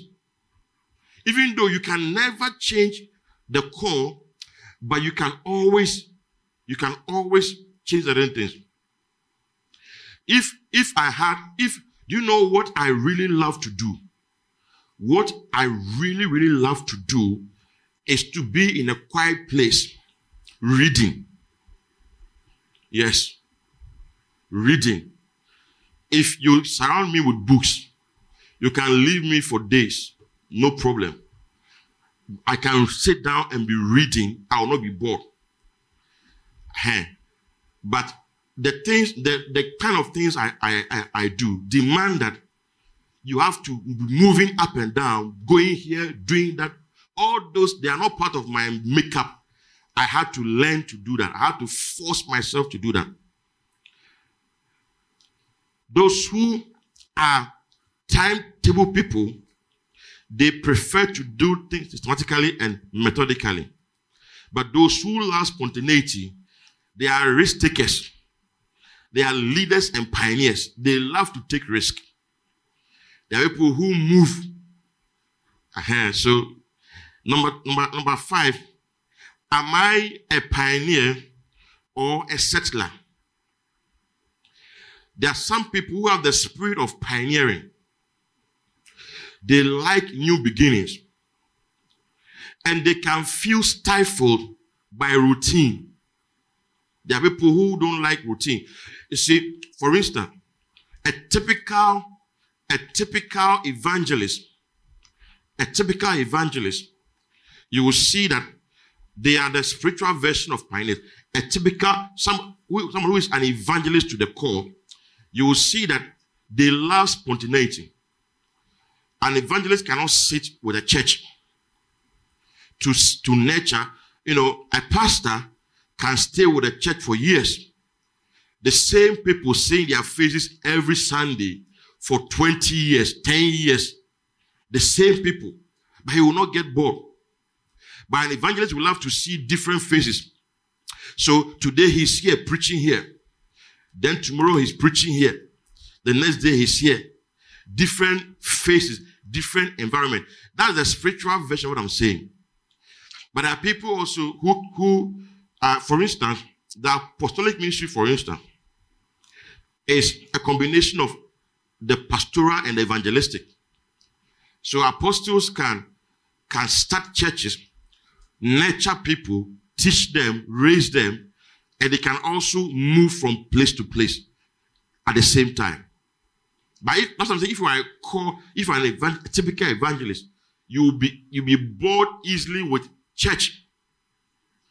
The, every day you come, you you see the same faces. You see that this one, this, this where he sits. This is where he sits. This is where he sits. Every day, the evangelist will not, they, they, they can't handle that. Now, those who are pioneers, they are soon ready to move on to new territories, to, to see hardship and difficulties, to conquer them. And sometimes they also become impatient with settlers. You see, one day Bishop Dag was saying something which was very instructive. He said that when the grace of an evangelist came on him, it, it, it, it disrupted his pastoral uh, duties. There are times he will come to the church and he will be angry. One day he went to the church and he drove all of them away. Go and, go and bring people, go and win souls. And realize that it was not helping the church because his evangelistic nature, if you like, was um, was conflicting with his pastoral, and he had to leave the church to appoint a pastor so that he can devote himself to evangelism. That's how come he, he went to start uh, this uh, uh, Healing Jesus campaign. Healing Jesus campaign. And he left the, the pastor of the church to, I think, Bishop Saki also. That's what happened. So he said one day he came to church and was angry. Said, go and win so go. Everybody go. Move. That's an evangelist. Okay. Am I a leader or a follower? Which one? You must also know. Now, the last segment nurture.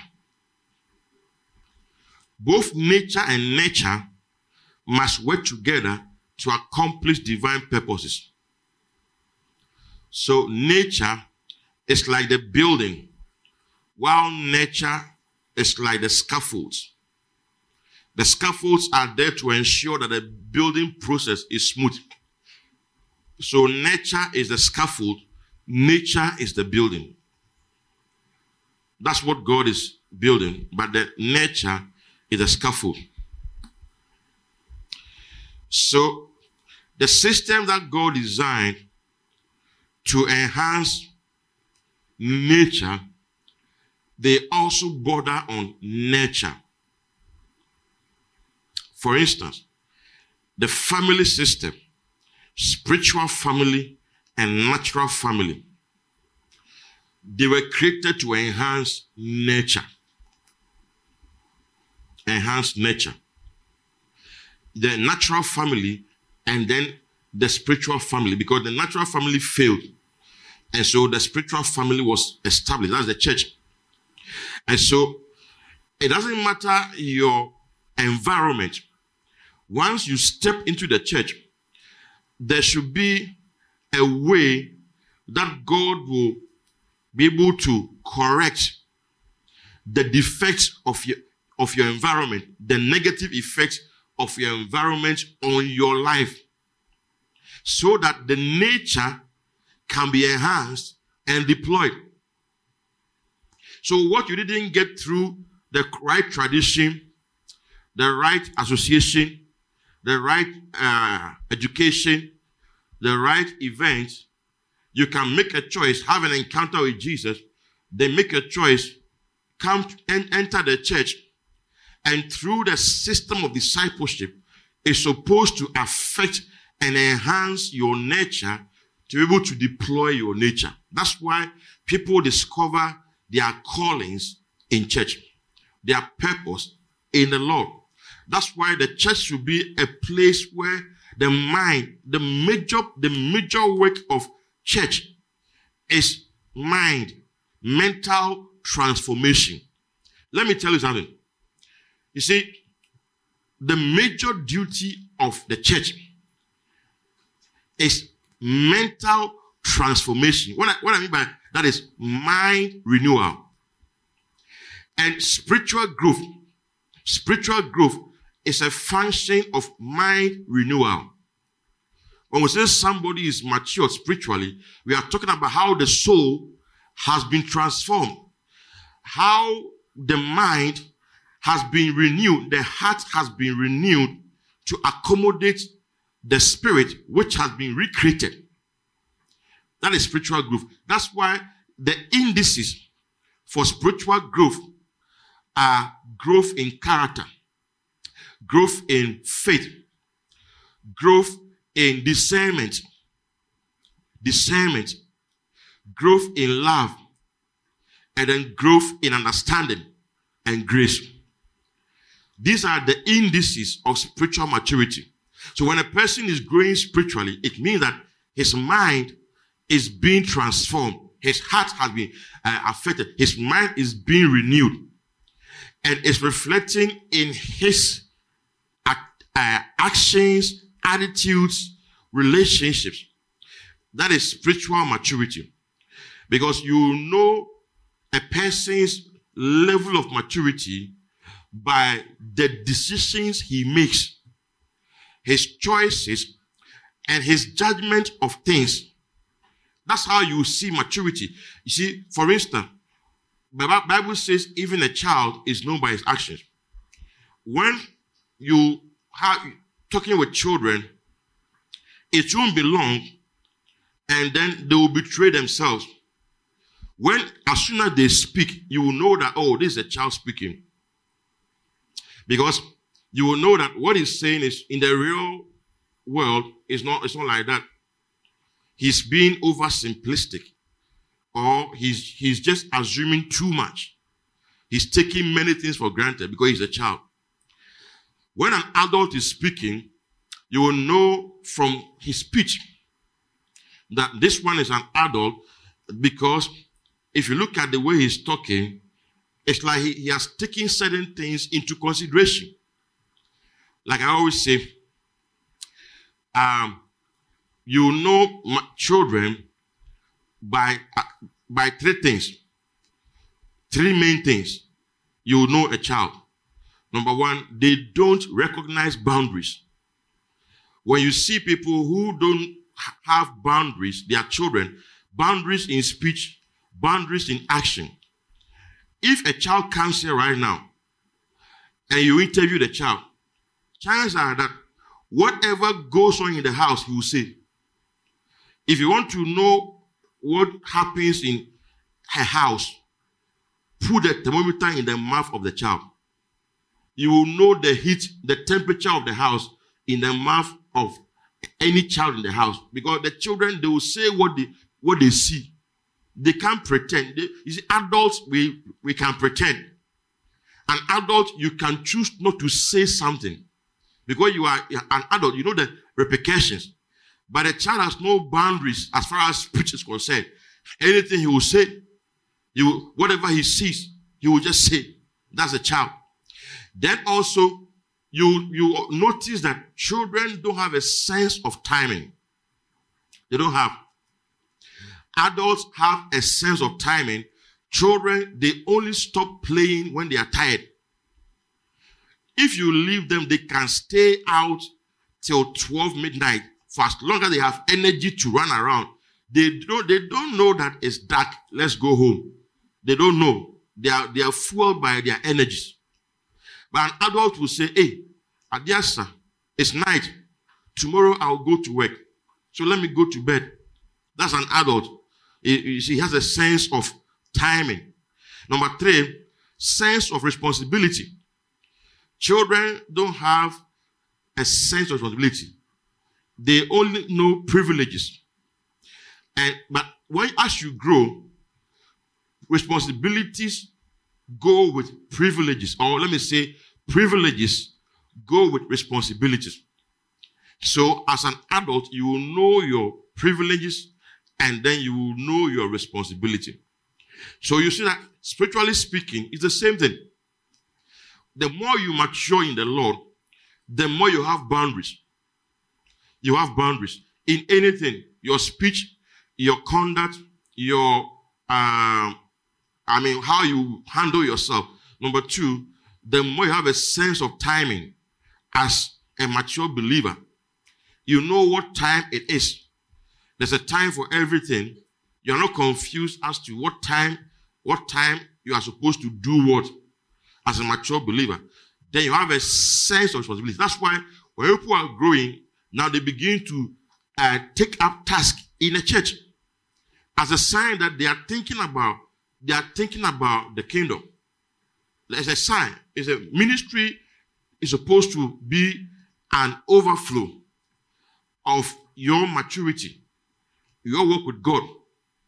As you are growing, you have a sense of responsibility. Maybe you were a child, you were going to school. All that you knew was that every day you come for school fees. You didn't know that the work, the store that your mother was managing small, small, was the one that was paying your school fees. You didn't know. So you, you just come for school fees. But you see, as you grow, when you come for vacations, you see, you go and help your mother in the shop. Why? Because now you are growing. Now you are beginning to link your school fees with activity of the shop. That is the same thing spiritually. There are people who will come to church, they don't know how things work. They don't know how, all they know is that when they come, things work. But as they grow in leadership, they are not just going to know how things work, they are now going to be part of those who make things work. And that's growth. So the church family was established to enhance nature. What you did not get in the family, the family setting, because you can never get perfection in any human institution. You see, for instance, you can never get all the love you needed from your family. You can never get. You can never get all the training you needed from your family, from your parent. You can never get all the attention you wanted from your parent or from your family. You can never get all the correction you needed. But you see, God has made provision for the church to salvage what the family system could not adequately provide. That's why you don't have any excuse to use your family background as a limitation. Anytime you, you, you, you say things like, that's how I was raised. Or as for me, that's how I was raised. Don't mind me. That's how I am. That's how I was raised. It means you are not serious. It means that you are not, you are not cooperating with the Holy Spirit because God has made adequate provision in the system called church to salvage what you lost or you didn't get through the family system. You get, you get it better through the church system. But the problem is that when we don't understand why church is in place, and then we turn the church into a place of entertainment and a place where we come to compound people's problems. That the person is coming from the family system, which has failed, running to the church to receive discipleship and correction of mindset. But when he comes, then we are perpetuating that same thing. You know, though people in the church are not perfect, I'm talking about the spiritual investment that God has made in the system called church. Do you know that even Christian fellowship, by meeting with believers, there are many things that if you take time to listen to God's word and to really go through, there are many issues of your life you know how to deal with them. But the issue is that people always love to give excuses. There's no excuse. Listen, no matter what happened to you in your life, the events and circumstances. Listen, I, I, I wrote in my first book, I said that uh, understanding your appointment with destiny. That was the first book I wrote. And I wrote a statement. I said, you may not have an earthly father. You may not even know your father, but you can get a father in a church. And that single statement, it ministers so powerfully to one person who looked for me. Because of that statement, Elisa became my son. That one statement. You see? So, and it's very true. You don't have any excuse. You don't, you don't need to be a product or a continuation of the failures in your family. The fact that in your family you are the only person who is born again is no excuse for you to fail because enough provision has been made in the church. Now, you can come from a dysfunctional family. That's no problem at all. The problem is if you also continue that dysfunction in your family, then there's a problem. That it means you just passed through the church. The church didn't pass through you. Are you getting me? You could have grown up witnessing marriage as uh, Tom and Jerry and cats and dogs. Now, that is not your problem. It's not your fault, and it shouldn't be your problem.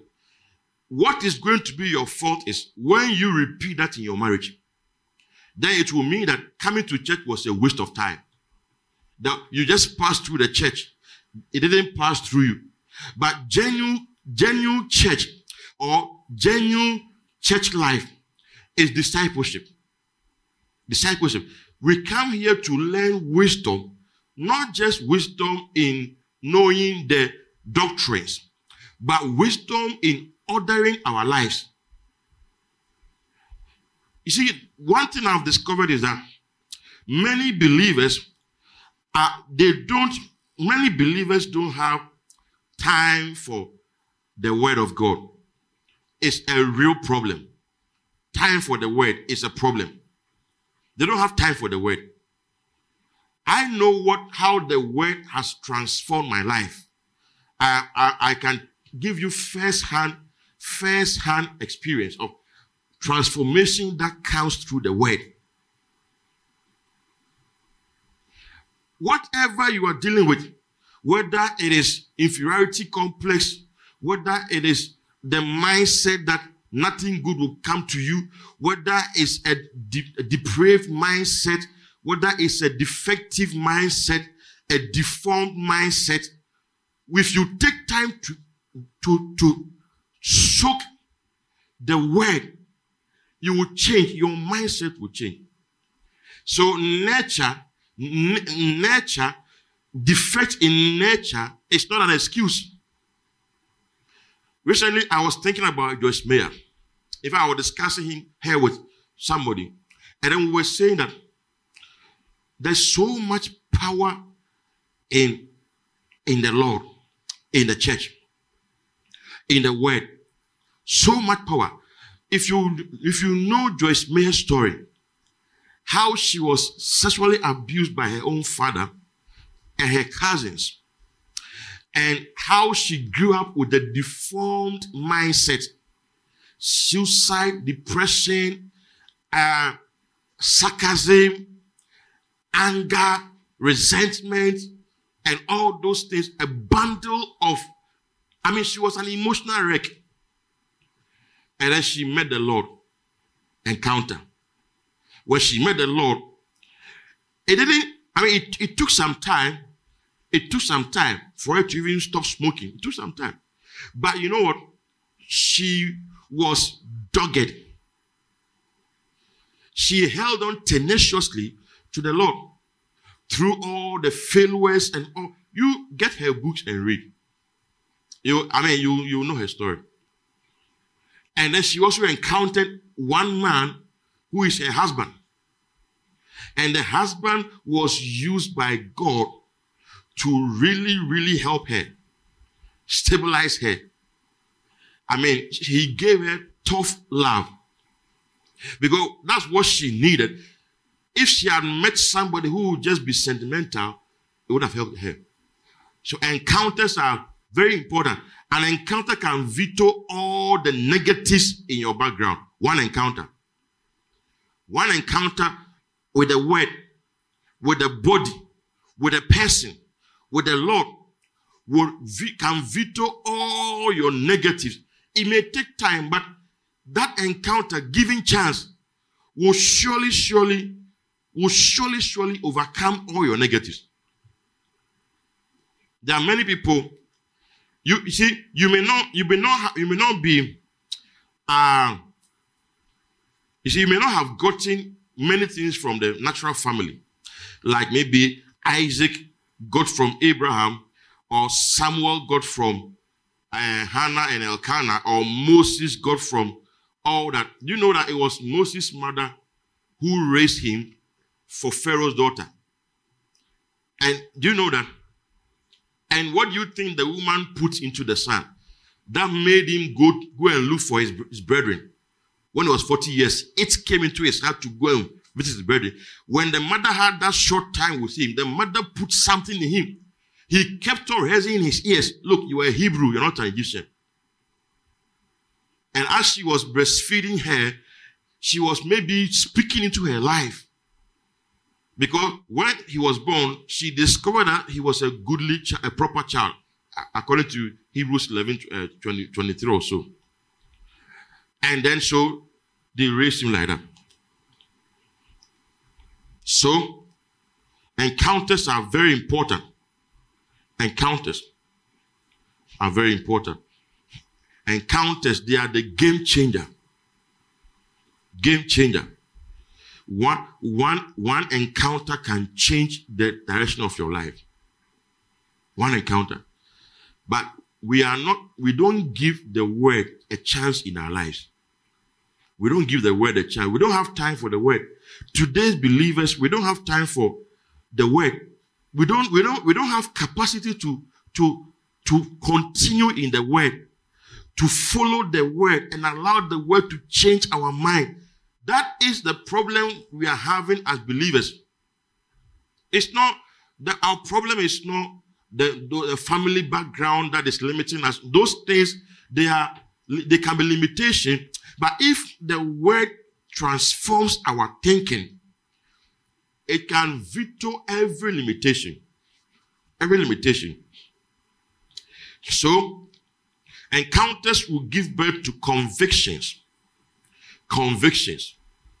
When you have an encounter, the result will be a conviction. Let's say now, yesterday in the in the evening, when you slept, you had a dream, and then you saw heaven, or you saw Jesus, or you saw something like that. You see that that encounter will give birth to a conviction you will know that these things we are talking about, they are real. They are not just stories.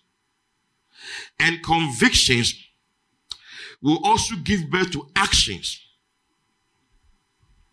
And that is the definition of faith.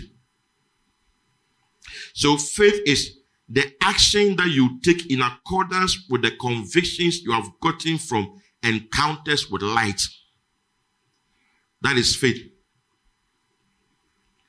Faith is the actions you take in accordance with the convictions you have gotten from encounters with light. Now we understand why the Bible says the weapon that overcomes the world is faith. Our faith, your faith. Because your convictions will overcome the world. Your convictions. And convictions are very important. We understand why why Abraham left his father's house. Conviction that was born out of an encounter. For God had said, Leave your father's house. He had an encounter. We understand why Noah endured many years of ridicule. Noah, conviction. God said it's going to rain. He, he had not seen the rain, but he moved with fear. Action based on a conviction that was born out of an encounter. Now we understand why Moses refused to be called the son of Pharaoh's daughter. Hebrews 11 25. Conviction. That's why in Hebrews 11, by faith, Moses, when he was of age, refused to be called the son of Pharaoh's daughter.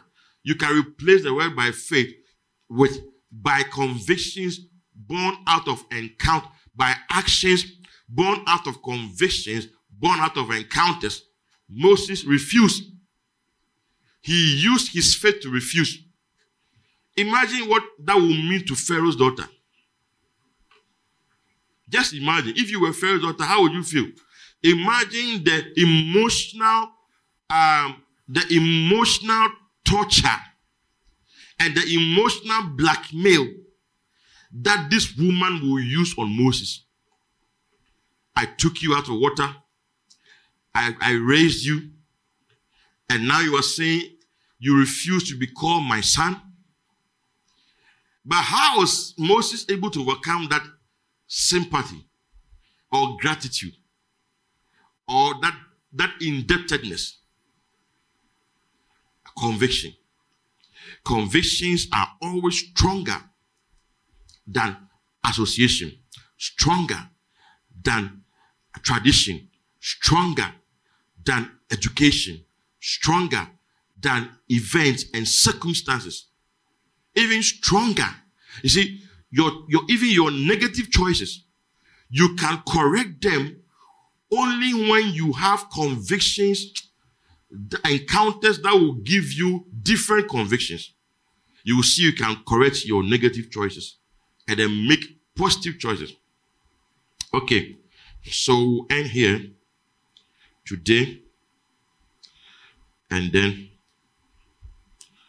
we'll continue next week. We'll look at the rest, maybe spiritual giftings and all that. and I and then I'll give you the questionnaire when we finish so that you can it can help you. And this this thing I'm teaching, it's not it's not really only for ministry for marriage. For, in fact, this this topic that I treated, uh, the same topic is in, in a book that I'm writing on marriage. I want my house to be a home. I'm I'm putting together um, a counseling manual for the ministry, and it's based on a book I'm writing. And this topic, nature and nurture, that I have written, that that is also in that book. And the same thing, you you know your your your your giftings, your personality, that of your your spouse to be, and see how the two of you you can work the marriage out. Okay. Uh, if there are questions, we are it's exactly 12. Uh, we will allow for like 10 to 15 minutes of questions if there are any. So if you have questions, you can raise your hand. Let's see those who have questions. Raise your hand so that, okay, okay, all right. Okay, so you can start, Karen.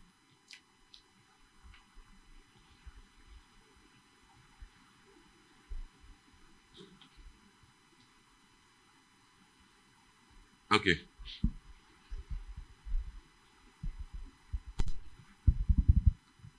Okay. please, I wanted to know if you can be in between an extrovert and an introvert. Can you be you'll be okay when you're alone, but when you find yourself among people too, you can flow. Okay, yeah, it's uh, actually nobody is strictly one personality type. We are different blends. Uh, so it's possible to have a bit of th- this and a bit of that. Yeah, but there'll, there'll be one that is dominant.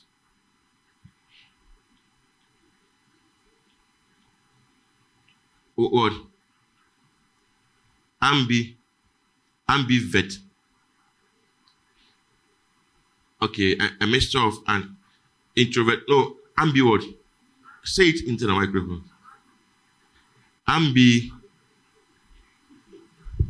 The last part ambivert, like introvert, extrovert. Ah, okay, ambivert. Okay, so ambidextrous. You know, ambidextrous is when you can use both hands, left and right. So ambi, combination of the two. Okay, Amb- ambivert. Yeah. Okay. Okay. Um, Nadi, please, I want to ask this. Um, with the passions, The the passion, passion. Okay. Yeah. Are there some passion that are just there as you know? It's just a passion. It's not anything you are going to use for something. Because, for instance, uh, maybe I have a passion for football. I love to play football. I love to watch football. I like everything about football. I have a strong passion for football. You know, yeah. uh-huh. But maybe you find yourself in a situation where you can't really use it for anything, but you have the passion for it see sometimes you know can be creative about it maybe if you were on the page and all those things but um, is it just something that it could be there as a passion but unfinancial Yeah. You see, um, that, that passion you have for football doesn't necessarily mean that you know how to play football. And then also maybe you are gifted in football. But it's a passion. And, and there are some passions that are actually developed, okay, like over time. Uh, maybe as you were growing, you were among people, your older siblings or your uncles who love sports, took you to watch matches and all that, you developed interest in football, then your interest became you became passionate about your interest. Okay, so it's a it's a passion, but there's no real drive to really move into football to become a footballer because you don't have the skill or the gifting for that. Uh-huh. So that that same passion you have, it can be channeled into other things. And there's nothing wrong having a passion for football. The only time it becomes wrong is when it clashes with something that is from God. Somebody was telling me that when he became converted, he said that he had to literally, intentionally stop football. Otherwise, he knew that he, he will not last. Because he said that uh, they used to go for morning devotion, and he said that uh, the football, he nearly backslid because of the football. Because it's like the time for morning devotion is a time that they have to go for training. And he said that he had to run away from football. He just stopped. He just stopped. So it's not. it- this one was even the somebody who knew how to play. Yeah, so you can always uh, manage your passion so that they don't disturb what God wants to do in your life. Yes.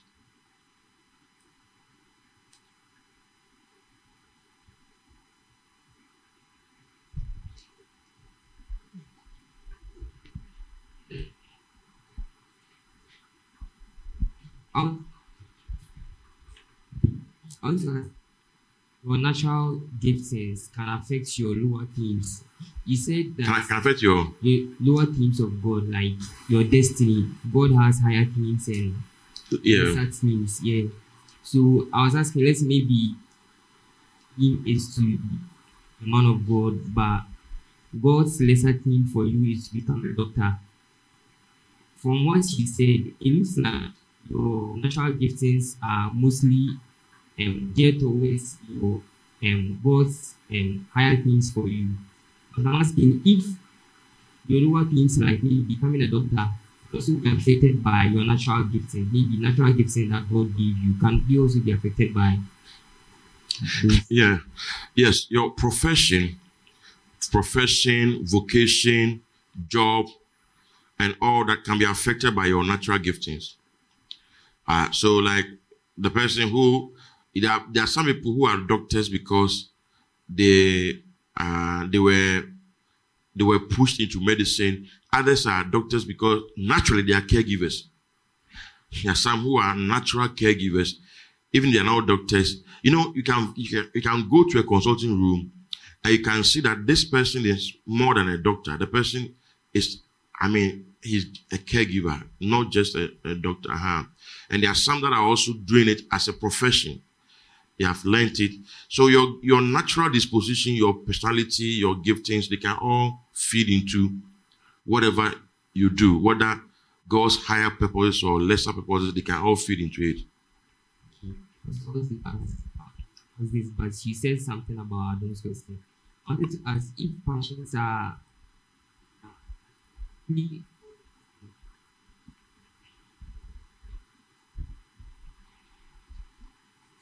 I wanted to ask if um, passions are strictly God, but you also said that you also said that um, passions may be had from interests. Yeah. Eh, and also, I want to ask if circumstances and experiences too can affect your passion. I want to use an example. I really love to teach.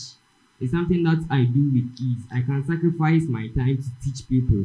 Yeah. But I realize that at a point in time, um, people's attitude towards my efforts like made me a little reluctant about teaching. But I saw some people are do not are not grateful. Some also after teaching them will make some comments that you never expected. So it's affected my drive to teach people. And also about football. My dad really loves football to the extent that he named me after a footballer, and even my brother too Okay. yeah. Growing up, my uncles, my brothers, they love football, so I, I began loving football, and I could play very well. But I saw that I was playing in a team when I was a kid. Someone got hurt. The person got injured to a football, so to a football match. So from there, it affected me so much that now, no matter what you do me, I'll never play football. I won't even watch it. Now, like you said, even if they play the match in my room, I may not watch because of that. I wanted to ask, is it because of that experience or the passion is still there, just that I have to revive it? Okay. Yeah, it's a real passion, but uh, everybody has a way of responding to um, circumstances and uh, events. There are people who can, uh, if you have a dominant, a domineering, or let me say, a dominant or domineering personality, for instance, you will see that um, people people will not be able to get you to switch or to tune off. But if you also have like uh, g- good nature or let's say understanding personality or there are people who easily recoil when they they they come uh, they come against pressure. That is where it's coming from. It's not like the passion is not there but it's like you you you recoil when you come against pressure or when you come, when people start talking about the things you do okay for as long as it's not what god has called you to do per se then that one won't be a problem. But when it comes to the things that god has called you to do then you should adopt a posture that whether people talk about you or not you still do it. Whether they, they show gratitude or not you still do it because that's what you have been called. Paul said i'm a debtor. I'm a debtor. So i mean it doesn't matter. You are a debtor. You must just pay your debt. Uh, but it can affect other things, you know, other things. You can let go of good things in your life because you retreated, because people maybe attacked or something. So the passion is there. You see that any, if you decide to bring your mind to it, you see the passion will still be there because it's built around interest. Passion is built around interest. And once the interest is still there, the passion can be can be brought back. Yes. Okay. Okay. Is that the last question? Okay, then yours should be the last question.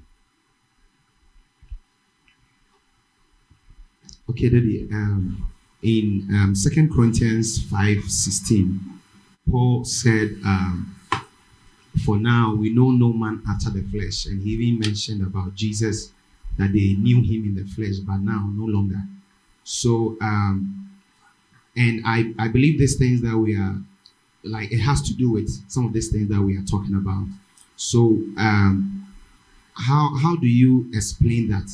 That he's saying that, look, we don't know man after these things. So I'm asking this question because I want to know if whenever you are making conclusions about people, do you have to factor some of these things we have learned today? Especially when it has to do with maybe ministry and all of that. You have to consider that hey, negotiate crowd, this is how the person is. And that's in the natural. And Paul is saying here that look, we, we don't know any man after the flesh.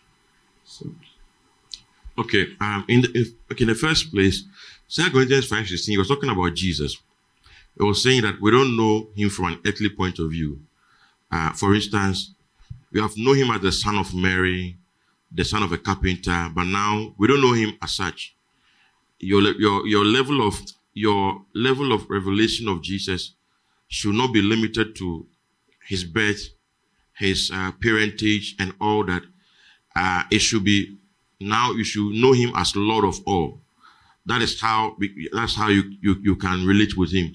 So that's what he was referring to. So the next verse he said that uh, we, are, we are a new creation. We are we are a new new new new.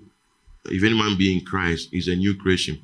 Uh, Yeah, but then he said, therefore, from now on, we regard no one Yes, according to the flesh. according to the flesh. Before he talked about, Uh-huh. And then so he was comparing and he said, even though we have we have known Christ according to the flesh, yet now we know him that's no longer. So the point he was making was Christ. But you cannot say that you will disregard what people are in the flesh in dealing with people because you are not dealing with their spirits. You are dealing with their spirit, soul, body. And the state of their mind renew, renewal will, will translate into the things they do. That's why the Bible even says that we should not put novices in charge of leadership. Otherwise, the Bible will not say things like that because we don't know anybody after the flesh. So no matter who the, person is, what the person is doing, or what the person is carrying, or just put him there, he's a new creation. But the Bible says that we should let this mind, which was in Christ, be in us. So our our spiritual growth uh, uh, is it's really very important. It has to be taken into consideration when we are dealing with people. Then also, we must also be able to know that people are not at the same level of growth at, as people. Everybody has a level of growth. That is, as a leader, that is one thing that should guide you when you are handling people. There, there are some people that you know that this one, this is the level. There, there are certain things, for instance, uh, if you are a pastor or an elder and I, you maybe you are making a certain kind of mistake, I will rebuke you. I may not rebuke a newcomer or somebody who is now growing. I will, I will encourage the person and all that, but I will be more stern on maybe somebody who is expected to know better. Okay, because we are different maturity levels. So if you don't, if you don't, if you lump it all together, then you, it's going to create chaos. Uh, and then it's going to create because we are not at the same level. You must you must recognize that in your dealings with people. There, there are some people that you will know that if you if you put this person at this position, uh, the person cannot handle it Be- because that that area demands some kind of maturity that maybe this person does not have. So if you put it there, it's going to create a problem. Okay. Um, actually, me, I've been applying. I mean, Second Corinthians five sixteen to my life, and it has been healthy, in a sense that maybe when somebody is portraying some sort of uh, maybe a negative behavior and all of that, I choose not to focus on that because that will also um, give you a negative um response to that. So I rather focus that well. That's not who they really are. I rather want to. I don't regard them after the flesh. I have, and I mean, being influenced by Second Corinthians five sixteen. So, well, this thing this person is doing is very clear that he or she is being self-centered. I'm not going to focus on the portrayal of self-centeredness. I'm focusing on her spirit, the born again spirit that oh, she has or he has love, and he the person maybe over time will learn. But if I have to regard that, then that one it will not be healthy to me, and I may respond to the person based on his or um, how the person is also relating with me. Yeah, I mean, if you know, you know a person's level of maturity, it, it gives you the opportunity to help the person. I mean, we must not, we must not, um, we must not overlook certain things uh, in our dealings with people. You can't, you can't just say that, oh, uh, this person, you, you put something that the person stole. Say, oh, he's a new creation in Christ. He's not, he, he, he, does not steal. If anyone be in Christ Jesus, the next time you leave your things there, fine. If it's your thing, then no problem. Let the person keep on stealing. but you see that you must know that this person, this is the kind of thing. So let, how can you help the person? That's you are not using that knowledge to condemn the person or to conclude on the person. By using that knowledge to help the person, and even you, it will help you to know how to even help the person. Because you must know how to help people. There are some people that the way you help them is sometimes to remove your eye and let them face consequences. It will strengthen them. It will make them wiser. There are some that the way you help them is that you carry them. You literally carry them. There are some that you help them by blocking, blocking them from doing things. It depends on the level of maturity and what lesson the person must learn. Yes. Okay, so last question.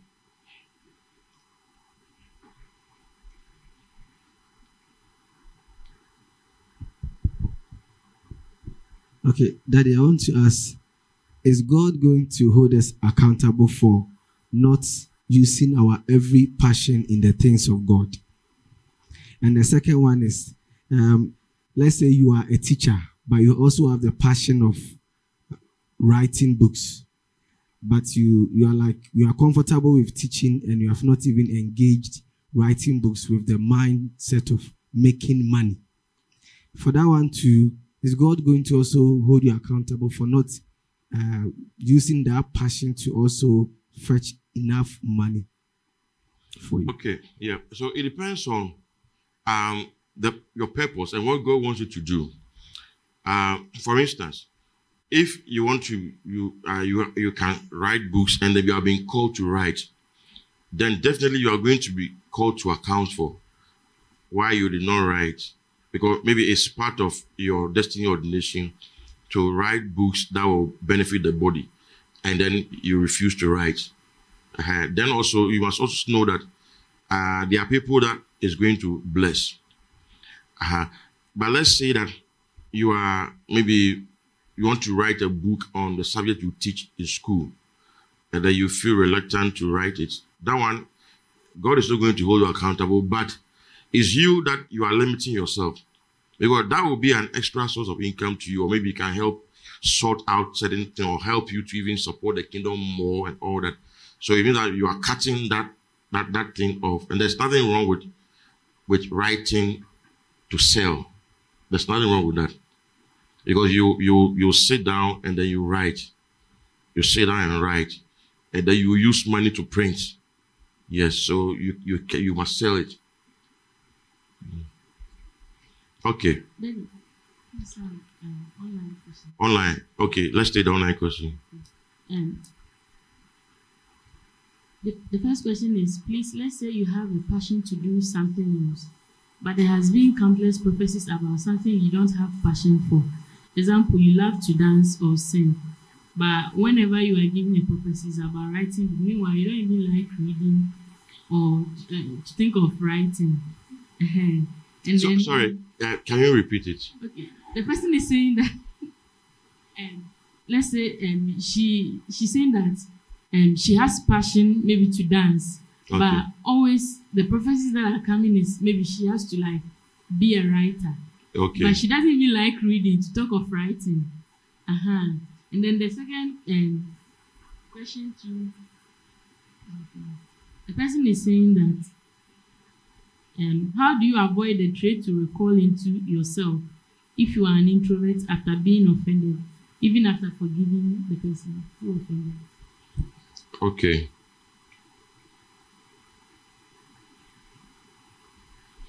So, um, the first question, he has a passion for something else, but the prophecy is about something else. But is the other thing also something that he has a passion for, or he can learn? uh, I mean, he can. It depends on what the prophecy is about and what he has a passion for. Because let's say that, let's say you have you have a passion for sports. You want to enter uh, football or maybe politics, and then the prophecy comes and says that God says, "I've called you to pastor a church," and it's not like uh, just a prophecy, but you you you know God has called you to pastor a church. Then you must respond to the call of God. If you can't do the two together, then you must let the other one go and focus on the call of God. Yes. Let's say a footballer, and the God say, Now, I want you to go and pastor a church at Seshi. You also want to play football, this team and all that is incompatible. So that one you forego your passion, like Paul had to forego his passion for the Jews and focus on the Gentile. Because the call of God, the destiny ordination is more important than the abilities and, and all that. Then the second question is, um, how can you deal with the issue of recoiling when there's an issue, even after you are forgiving the person? Okay, you know, um, such such will be the the, the personality trait of maybe um, somebody who is an introvert, or let's say a melancholic, some somebody like that. They usually it takes long for them to bounce back, especially in the area of trust. Once you hurt their, you you break their trust or hurt their feelings, they can forgive you but stay away from you. They can run away from you all the time and all that. It's not, it's not a really good thing. It can you can you can be balanced. You see, the fact that somebody maybe did something against you does not mean that, or the fact that you're forgiving somebody will not mean that you should just go ahead and trust the person. Okay. But you should not be having ill feelings. When, if you if you are forgiving the person, then when you remember it doesn't bring you pain. If it brings you pain, you have not forgiven the person. Because true forgiveness will remove the pain. I mean, when it, it, it ends, when it goes through the natural cycle of forgiveness, the last stage is that the pain will not be there. You are, that mean- it means you are completely healed. So if you are still, the pain is still there, you are not healed. Then also, the tendency to recoil after you are hurt, it could be due to other factors, including pride. Pride can also be one of the reasons why uh, you do that. There are people who quit trying when maybe they come up against opposition or they come up against maybe criticism or even rebuke and all that. They will just quit trying. It's, it's a form of pride, especially when it you are dealing with the body of Christ. Let's say that you are supposed to do this and then you did it and there was a rebuke. And because of that, I won't even come near. I'm just. You are it- it's you, it's not nice. It's not it's going to inhibit your flow, how you flow in the things of God. So pray about it. He should the person should pray about it and then allow God to um, heal you and then expose yourself more to the word of God and then seek counseling because how to deal with for instance if let's say you marry right now it means that you're going to keep a record of wrongs. But the bible says love does not keep a record of wrongs. So if your partner maybe does something against you you're forgiving the person are you going to say that though i've forgiven you as my wife or husband i'm, I'm, I'm going to withdraw it, it- it's not really it's not you have not forgiven the person I get me. Yes, the person gets me. You are not you are forgiving the person. You are you are rather brushing the thing under a carpet, sitting on it and thinking that you are forgiving. But that's not forgiveness. So the, the test of forgiveness is is there pain? Is there you still have pain when you remember the situation? Then it means you have not forgiven the person. Okay. So let's pray.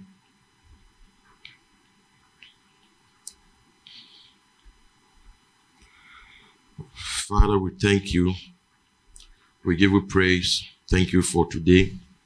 We pray that even as we study these things, you will help us, Lord, to know ourselves and to identify with what is natural and what is nature.